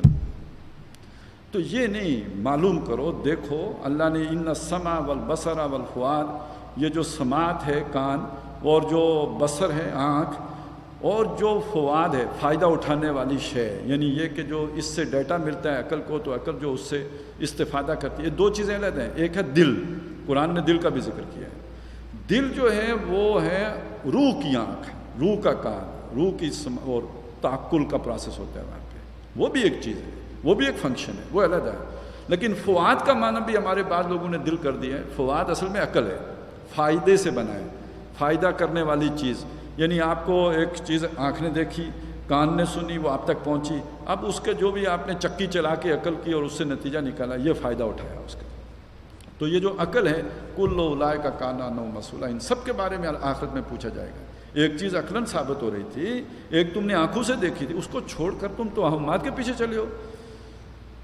ولا تم شف الارض مراحا اور زمین پر اطراح کرنا چلو۔ یہ بھی بہت ہی کمزور لوگوں کا کام ہوتا ہے۔ کوئی تھوڑی سی اللہ تعالیٰ نے کوئی دولت دے دی یا کوئی اسٹیٹس دے دیا، اب یہ ہے کہ اکڑ اکڑ کے زمین پہ چل رہے ہیں۔ ان کا لن تخر الارض و لن تبلغ الجبال طولا۔ تم زمین پر اکڑ کر چل کر نہ اسے پھاڑ سکتے ہو۔ یعنی اکڑنے کے دو ہی طریقے ہوتے ہیں نا۔ آدمی زور زور سے پاؤں رکھتا ہے زمین پہ اور یا گردن اونچی کرتا ہے۔ بہت ہی پیاری آئے تھے یہ کہ تم اگر زور سے زمین پر پاؤں مارو گے تو کیا ہوگا؟ زمین پھٹ جائے گی کیا؟ ان کا لن تخر کلار تم زمین پھاڑ نہیں سکتے۔ وہ لن تب لوگ الجبالا تولا پہاڑوں کی بلندی کو نہیں پہنچ سکتے یعنی گردن اونچی کرو، کتنی اونچی کرو گے؟ پہاڑ تو بڑی شے ہے، تم سے تو ایک جو ہے چھوٹی سی ٹیلا جو ہے اتنی بھی گردن نہیں اونچی ہو سکتی۔ تو ماؤنٹ ایوریسٹ اتنے اونچے ہو جاؤ گے کیا؟ کل و ظال کا کانا صحیح ہو یہ سب کے سب برائیاں ہیں اندہ رب کا، تیرے رب کی نظر میں۔ اس کے ہاں مکرو ہاں بیزاری کی، بہت ناپسندیدہ برائیاں ہیں یہ۔ ظال کا مما اوخا علیہ کا رب کا میرا حکمہ اور یہ وہی کیا گیا ہے آپ کی طرف، یہ وہی کیا ہے آپ کی طرف، آپ کے رب نے۔ من الحکمہ یہ از قسم حکمت ہے سارے کا سارا؟ وہ جو تھا نا ادو الا سبیل رب کا بالحکمہ، تو یہ ساری حکمت کی باتیں ہیں۔ یہ قرآن حکیم ہے، اس کے تمام احکامات جو ہیں مبنی بر حکمت ہیں۔ تو یہ اللہ کی شرک نہ کرنا، والدین کے ساتھ احسان کرنا، پیچھے رہ جانے والوں کی مدد کرنا، زنا کے قریب نہ جانا پھر یہ کہ کسی کو ناحق قتل نہ کرنا، اولاد کی جو ہے وہ پروان چڑھانا، یہ سب وہ چیزیں ہیں کہ جو اللہ اور فخر اور غرور و تکبر نہ کرنا، یہ حکمت کی چیزیں ہیں جو ہم نے آپ کی طرف وہی کیا ہے۔ ولا تجال ما اللہ الہ آخر۔ اللہ کے ساتھ کسی اور کو معبود نہ بنانا۔ فت القافی جہنم تو جا گرو گے دو میں، گرا دیے جاؤ گے دو میں۔ معلومہ مدخورہ الزام کھائے ہوئے ہو کر، ملامت زدہ اور دھکے دیے جا کر۔ اف اسفاکم ربکم بالبنی اے قریش، تمہیں تو تمہارے رب نے بیٹوں کے لیے چن لیا۔ وطا خزہ من الملائکت اناسا، اور خود اپنے لیے بیٹیاں رکھ لی اس نے۔ ان نقم نہ تقول نہ قول نظیمہ بہت بھاری بات ہے جو تم اپنے منہ سے نکال رہے ہو۔ ولقت صرفنا فی حاضل قرآن کرو پھر دیکھیے قرآن آ گیا ہم نے اس قرآن میں پھر پھر کے سمجھایا ہے تاکہ لوگ سوچیں، غور کریں۔ وما یزید اللہ نفورا۔ لیکن لوگ لوگوں کو نہیں زیادہ کیا قرآن نے، مگر نفرت میں اور بھاگنے میں۔ کو لو کا نہ ماں ہو علیہ تن کما یا اے نبی، ان سے کہیے کہ اگر اللہ کے ساتھ کوئی اور معبود ہوتے جیسے کہ ان کا دعویٰ ہے۔ واقعی اگر ہو سا ایسا ہوتا عزت لب تغاؤ الا ذل عرش سبیلا، تو وہ ضرور عرش والے کی طرف ایک دفعہ تو حملہ کرتے۔ دنیا میں تو ہمیشہ یہ ہوتا آیا ہے۔ کہ شہزادے ہوتے ہیں، بانجی ہم بتیجے ہوتے ہیں، وہ بادشاہ کے خلاف بغاوت کر دیتے ہیں، بادشاہی چھیننے بھائی بھائیوں سے لڑ پڑتے ہیں۔ بھائیوں نے بھائیوں کو قتل کیا ہے بادشاہی کی خاطر۔ تو اگر اللہ کے ساتھ کوئی چھوٹے عالیہ بھی ہوتے تو وہ بڑے عالیہ کے الہ کے خلاف کوئی تو بغاوت کی ہوتی، کبھی تو کوئی ثبوت ملتا ہے۔ سبحان ہو و تعالیٰ، وہ پاک ہے اس سے کہ اس کے ساتھ کوئی اور معبود ہوں، کوئی اس کی وزیر مشیر ہوں۔ اور بلند ہے، اما یا ان باتوں سے جو یہ کہتے ہیں الو کبیرہ، بہت بڑا بلند۔ تو سب ہو لہو سماوا تو سب اول ارد و منفی ہند اس کی تسبیح میں جتے ہیں۔ سات آسمان بھی اور زمین بھی اور جو ان کے مابین ہے، سب اس کی تسبیح کرتے ہیں۔ و امن شعین اللہ یو سب ہو بے کوئی چیز نہیں ہے مگر اس کی حمد کے ساتھ اس کی تسبیح کر رہی ہے۔ ولا کلّہ تف کا ہوں تسبیح ہوں لیکن ان کی تسبیح تم نہیں سمجھ سکتے، تمہارے سمجھ میں نہیں آ سکتی۔ ان نہ کان حلیمن غفورا۔ وہ بے شک وہ بہت ہی تحمل کرنے والا، بخشنے والا ہے۔ وہ ایزا کراتل قرآن پھر قرآن آ گیا۔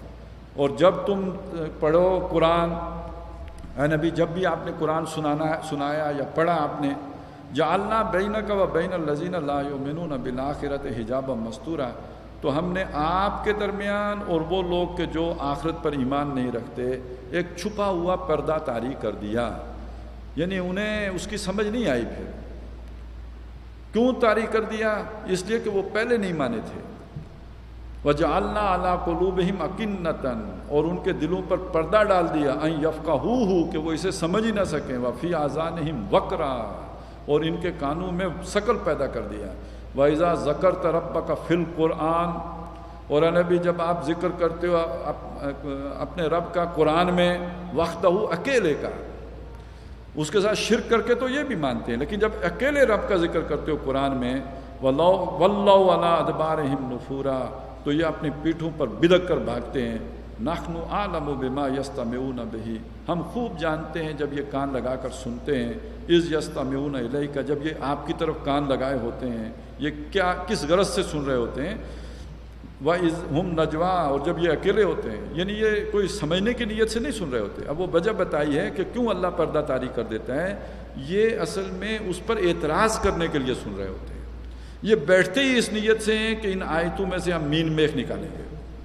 وہ از ہم نجوا اور جب وہ اکیلے مشاورت کرتے ہیں از یقول الظالمون ان تتبعون اللہ رج المسکورہ جب یہ ظالم لوگ کہتے ہیں کہ تم نہیں پیروی کر رہے، مگر ایک ایسے شخص پر کی کہ جس پر جادو کر دیا گیا ہے۔ انظر کئی فضل ابو القلمسال دیکھیے یہ آپ کے لیے کیسے مثالیں بناتے ہیں۔ فضل فلاں یستیون سبیلا۔ اور یہ گمراہ ہو گئے، اب انہیں راہ نہیں ملتا۔ راہ کی، ان کے اندر پانے کی استطاعت ہی نہیں رہی۔ وہ کالو اعضا کنہ ایزامہ اور انہوں نے کہا کہ جب ہم ہڈیاں ہو جائیں گے یعنی گوشت ہمارا گل سڑ جائے گا وہ رفاتن اور ہڈیاں بھی چورا چورا ہو جائیں گی۔ آئنہ لمبوسون خلقن جدیدہ کیا ہم دوبارہ نئی خلقت میں پیدا ہو جائیں گے؟ یعنی ان کی نظر میں یہ محال ہے۔ گوشت بھی گل سڑ گیا، ہڈیاں بھی چورا چورا ہو گئیں، تو کیسے دوبارہ بنیں گے؟ اب اس کا جواب ہے، بڑے غصے سے دیا گیا ہے۔ کل اے نبی فرمائیے، کونو ہجارتن او حدیدہ تم پتھر بن جاؤ۔ ابھی تو صرف ہڈیاں گلی ہیں نا۔ پتھر ہو جائیں وہ ہڈیاں بدل کے۔ او حدیدہ یا لوہا بن جاؤ۔ او خلقن مما یکبر فی صدورکم۔ یا کوئی ایسی خلقت میں بدل جاؤ کہ جو پتھر اور لوہے سے بھی زیادہ مضبوط ہو تمہاری خیال میں۔ فس یقول نہ یہ تو جواب ہو گیا نا اس بات کا کہ پتھر بن جاؤ، لوہا بن جاؤ، تم دوبارہ بنو گے تو کہے گا، کون وہ آگے سے سوال آ گیا؟ میں دونا کون بنائے گا؟ کل اس کا جواب دیجیے۔ الزی فتح اول مرتن، وہی بنائے گا جس نے پہلی مرتبہ بنایا۔ تم بابا تھے ہی نہیں، اس نے تمہیں بنا دیا۔ اب اگر ہو، بے شک لوہا بن گئے یا جو بھی بن گئے، تو اس کے لیے کیا ہے بنانا مشکل؟ پہلی دفعہ چیز بنانی مشکل ہوتی ہے، دوسری دفعہ بنانی تو کوئی مشکل نہیں ہوئی۔ تو عقلی جواب آ گیا کہ پہلی دفعہ آخر کسی نے بنایا، تو عقل مانے گی کہ وہ دوسری دفعہ بھی بنا سکتا ہے۔ جواب ہو گیا فصون غزو نہ کرو اس پر آپ اپنے چہرے آپ کے سامنے، اپنے سر مٹکائیں گے۔ ہاں سمجھ آ گئی، ٹھیک ہے۔ دل نہیں مانتا تھا، لہذا نیا اعتراض وہ یقول متا ہو وہ کہیں گے کب ہوگا؟ ٹائم بھی بتا دیجیے۔ کل آسان یقون قریب آئے نبی، کہہ دیجیے ہو سکتا ہے بہت قریب ہو۔ یہ وہ سوال ہے جس کا حتمی جواب ہم ابھی نہیں دے سکتے۔ نہیں دینا چاہتے، نہیں دیتے، یہ ہماری حکمت کے خلاف ہے۔ یوم یدوک اچھا یہی ہمارے دانشوروں کا طریقہ بھی ہوتا ہے۔ ایک چیز رکھیں، وہ اگلا سوال کر دیں گے۔ اس کا جواب دیں، اس سے اگلا کر دیں گے۔ آپ کے سوالوں کی بچھاڑ کے نیچے سے نکلنے ہی نہیں دیں گے۔ یوم یدوکم فتستجیبون نہ بے جس دن وہ انہیں پکارے گا۔ نکلو۔ یعنی آج کہتے ہیں نا کیسے بنائے گا؟ وہ صرف ایک پکار لگائے گا۔ اٹھو، قبروں سے نکلو۔ فتستجیبون نہ بے تو وہ اٹھ کے کہیں گے، تم اس کی حمد کی کرتے ہوئے اس کی پکار پہ لبیک کہو گے۔ وہ تجنون البس تم اللہ کلیلہ اور اس وقت تم گمان کرو گے کہ تم دنیا میں نہیں رہے، مگر تھوڑا ہی رہے۔ وہ کل عبادی اور کہہ دیجیے میرے بندوں کو یہ بہت اہم حصہ ہے۔ میرے بندو سے کہہ دیجیے، مکہ ہے، وہاں پہ مشرقین اہل ایمان کو ستا رہے ہیں، ظلم کر رہے ہیں، ہر اعتبار سے تنگ کر رہے ہیں۔ اب اس پہ آدمی کو غصہ آتا ہے۔ آپ کسی کو سمجھا رہے ہو، ہمدردی کر رہے ہو، وہ آگے سے اس طرح کے جوابات دے رہا ہو، تو غصہ آئے گا یا نہیں آئے گا؟ اب شیطان یہی چاہتا ہے کہ آپ غصہ کریں، سختی کریں، نفرت پیدا ہو، تاکہ وہ بات سننے کے لیے تیاری نہ رہیں تو اللہ تعالیٰ جو نصیحت کر رہے ہیں وہ یہ ہے کہ اے نبی کہہ دیجیے میرے بندوں کو، یقول التی یا اکثن بات بہت ہی عمدہ کیا کرے۔ کبھی بھی غصے میں آ کر کوئی ایسی بات نہ کر دیں کہ دنوں کی نفرت میں اضافہ ہو جائے۔ عمدہ بات کریں۔ کیوں؟ ان نہ شیطان ینزا و بین یہ شیطان ہے کہ جو ان کے درمیان جو ہے وہ عداوت ڈال دیتا ہے بکس پیدا کر دیتا ہے، لڑائیاں پیدا کر دیتا ہے۔ ان نہ شیطان کان الانسان ادو و مبینہ بے شک شیطان انسان کے لیے واضح طور پر دشمن ہے میں یہ چاہتا ہوں کہ ہمیں اس چیز کو آج جو لڑائی ہے نا اس کے تناظر میں دیکھنا چاہیے شیطان نے اب جو ایک بات ہے نا جو ایک میرے خیال بش نے کہا تھا کہ دنیا ہم سے نفرت کیوں کرتی ہے؟ ان سے ایسے کام کروائے کہ جس کے نتیجے میں لوگ ان سے نفرت کریں۔ بدلے میں ہم سے بھی ایسے کام کرواتا ہے جس کے نتیجے میں پورے مسلمانوں سے لوگ جو ہے وہ نفرت کرنا شروع ہو جائیں۔ اب مثلا وہاں پہ کسی نے کوئی ایسی حرکت کی، اللہ کے نبی صلی اللہ علیہ وسلم کی توہین کی۔ ہمارے جذبات بڑا اٹھے بدلے میں ہم نے کیا کیا؟ جھنڈا پکڑا، اس پہ پیشاب کر دیا۔ جھنڈا پکڑا، اس کو آگ لگا دی۔ یا اس کو سڑک پہ بچھا کے اس کے اوپر ناچنا شروع کر دیا۔ اب ہوتا کیا ہے؟ آپ حیران ہوں گے کہ اگر آپ پچاس ہزار آدمی آ کے نا کسی جگہ پہ نماز پڑھ کے چلے جائیں، کوئی نہیں دکھائے گا۔ آپ اور کوئی خدمت خلق کا کام کر جائیں، کوئی میڈیا پہ نہیں آئے گا۔ آپ دس آدمی لے کے آئیں، وہ امریکی پرچم کو نظر آتش کریں، سارے چینل پہ آ جائے گا، سی این این تک آ جائے گا۔ نتیجہ کیا نکلے گا؟ ہمارے لیے تو وہ کپڑے کا ٹکڑا ہے، امریکہ کا جھنڈا۔ ہمیں ہمیں کیا؟ ہم تو اسے چاہیں تو وہ جو ہے وہ کسی، اس سے بھی گھٹیا کام میں استعمال کریں۔ لیکن ان کے لیے تو بہرحال وہ کوئی عزت کی شے ہے، ان کے لیے تو بہت معتبر ہے، ان کے لیے وہ بہت پاک شے ہے، ان کے دلوں میں نفرت پیدا ہو جائے گی۔ یہی قرآن ہے جو ہمیں کہتے ہیں نا کہ مشرق جن معبودوں کو پکارتے ہیں، ان کی کوئی حقیقت نہیں، لیکن تم انہیں گالی نہ دو۔ وہ بدلے میں، غصے میں آ کے تمہارے خدا کو گالی دیں گے۔ تو میرے بند یہ شیطان کا کام آسان ہو جاتا ہے جب دونوں پارٹیوں کے درمیان وہ نفرت کی دیواریں برلن کھڑی کر دیتا ہے کمیونیکیشن ختم۔ نہ یہ ان کو بات سمجھا سکتے ہیں نہ وہ ان کی بات سننے کے لیے تیار ہوتے ہیں۔ یہ شیطان کا فائدہ ہے۔ جبکہ تمہاری آئیڈیالوجی ایسی ہے، تمہارے پاس دلائل ایسے ہیں، تم پوری دنیا کو قائل کر سکتے ہو۔ اپنے دشمنوں کو زیر نگی لا سکتے ہو اس کتاب کے ذریعے سے۔ لیکن بیچ میں اگر نفرت کی دیوار کھڑی ہو گئی، تو یہ سارے کا سارا شیطان کا فائدہ ان نہ شیطان ینزا و بین شیطان ان کے درمیان دشمنی پیدا کر دیتا ہے ان نہ شیطان کان انسان ادوبہ مبینہ کھلا دشمن ہے انسانوں کا۔ یہ بات صحیح ہے کہ یہودیوں کو یہودی پوری طرح شیطان ہی بن چکے ہوئے ہیں۔ ان میں کوئی خیر نہیں رہا۔ اور عیسائیوں میں سے بھی کچھ کو انہوں نے شیطانت کے مقام پر فائز کر لیا۔ لیکن انسانیت کی ایک بہت بڑی تعداد انہی کے زیر اثر وہ ہے کہ جن پر اگر قرآن کا صحیح پیغام آشکارا ہو جائے وہی مان لیں گے یہ ان کے ان کے ایجنڈے میں شامل ہے تاکہ یہ پیغام ان تک نہ پہنچے۔ تو اے مسلمانوں، ہوش کرو، سمجھداری سے کام لو۔ کوئی جسے کہتے ہیں، عقل کو ہاتھ مارو، یہ تم شیطان کے اداکار نہ بنو۔ رب و کم عالم و بے کم تمہارا رب تم سے خوب واقف ہے۔ آج تمہیں ان سے بڑی نفرت ہے۔ کل تم بھی تو ایسے ہی تھے۔ اور خاص طور پہ ہم، ہمارے کرتوت تو کئی اعتبارات سے، کافروں کے کرتوتوں سے بڑھ کر ہیں۔ ان یشا یرخم کم اگر وہ چاہے تو تم پر رحم کرے، او ان یشا جو عذب کن چاہے تو تمہیں عذاب دے۔ کافروں پر بھی رحم کرے، انہیں ایمان کی توفیق دے سکتا ہے چاہے تو عذاب دے۔ ومار صلی اللہ کا علیہ علیہم وکیلا اور اے نبی، ہم نے آپ کو ان کے اوپر داروغہ بنا کر نہیں بھیجا ہے۔ وہ رب و کا عالم و بے منفِ سماوات والارض اور آپ کا رب خوب واقف ہے اس سے کہ جو آسمانوں اور زمین میں ہے۔ ولاقت فضل نہ بعض النبیین اعلیٰ بعض اور ہم نے بعض انبیاء کو بعض پر فضیلت دی ہے۔ وہ آتے داود اور داود کو ہم نے زبور عطا کی۔ کلید اللہ زین نظام تم مندو نے ان سے کہو کہ جن کے بارے میں تمہارا گمان ہے گمنڈ ہے، ان کا کوئی اختیار ہے اللہ کے سوا جن ہستیوں کا۔ فلاں یملکون کشف ضر ان کم تو وہ کوئی اختیار نہیں رکھتے تم سے کوئی تکلیف دور کرنے کی، ولا تخویلہ نہ تبدیل کرنے کی۔ اولائک الذین یدون۔ یہ وہ لوگ ہیں جن کو وہ پکارتے ہیں، جن سے وہ مانگتے ہیں، التجائیں کرتے ہیں۔ یب تعون الا ربہم الوسیلہ۔ وہ خود متلاشی ہیں اپنے رب کا قرب حاصل کرنے کے۔ ایہم اقرب، کہ کون ان میں سے زیادہ اللہ کے قریب ہے وہ یرجون رحمت ہو اور اس کی رحمت کے امیدوار ہیں۔ وہ یخافون عذاب اور اس کے عذاب سے ڈرتے ہیں۔ ان عذاب رب کا کانا مخضورہ بے شک تیرے رب کا عذاب ڈرنے کی چیز ہے۔ وہ امن کریت اللہ نخن و مولکوہ اور کوئی بستی نہیں ہے مگر ہم اسے ہلاک کرنے والے ہیں قبل یوم القیامہ، قیامت سے پہلے۔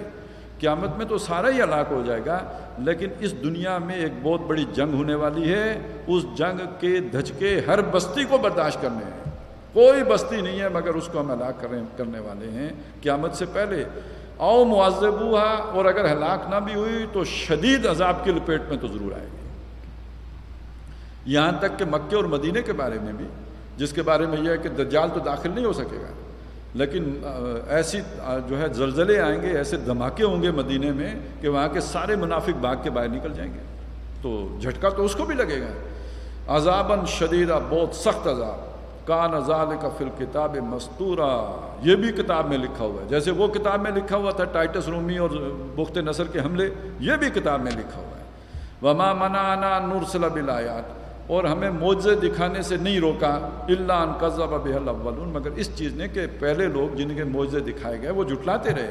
وہ آتینہ سمود النا کا اور سمود کو ہم نے اونٹنی دی معجزے کے طور پر مبصرت ہے نا آنکھیں کھولنے کے لیے۔ فضل بیا انہوں نے اس کے ساتھ نا انصافی کی۔ وما نرسل بالآیات اللہ تخویفہ اور ہم نشانیاں نہیں بیچتے مگر ڈرانے کے لیے۔ بعض اللہ کا ان رب کا احاطہ بنناس اور جب ہم نے کہہ دیا تجھے کہ بے شک تیرا رب لوگوں کو گھیرنے والا ہے۔ وما جالنا رو اللہ تیارہ کا اور ہم نے نہیں دکھایا وہ منظر جو ہم نے آپ کو دکھایا۔ معراج کی سیر نہیں کرائی۔ اللہ فتنۃ الناس مگر وہ لوگوں کے لیے فتنہ بن گیا۔ آپ نے جب لوگوں کو بتایا، انہیں یقین ہی نہیں آیا۔ انہوں نے اس کو مذاق بنا لیا۔ و شجرت الملعونت فی القرآن۔ اور قرآن میں جس لانتی درخت کا ذکر ہے کہ جو دوزخ میں پیدا ہوگا، اس کا بھی انہوں نے مذاق اڑایا۔ لو جی کہتے ہیں دوزخ میں آگ ہوگی۔ ساتھ کہتے ہیں، وہاں درخت ہوگا۔ تو یعنی جب ٹھٹھے کرتے ہیں اس کا وہ نخوف ہم انہیں ڈراتے ہیں۔ فما یزید و اللہ تو یانن کبیرہ اس ڈرانا، وہ ڈرانا ان کو اور سرکشی اور بغاوت پہ اور بہت بڑی شرارت پر آمادہ کر دیتا ہے۔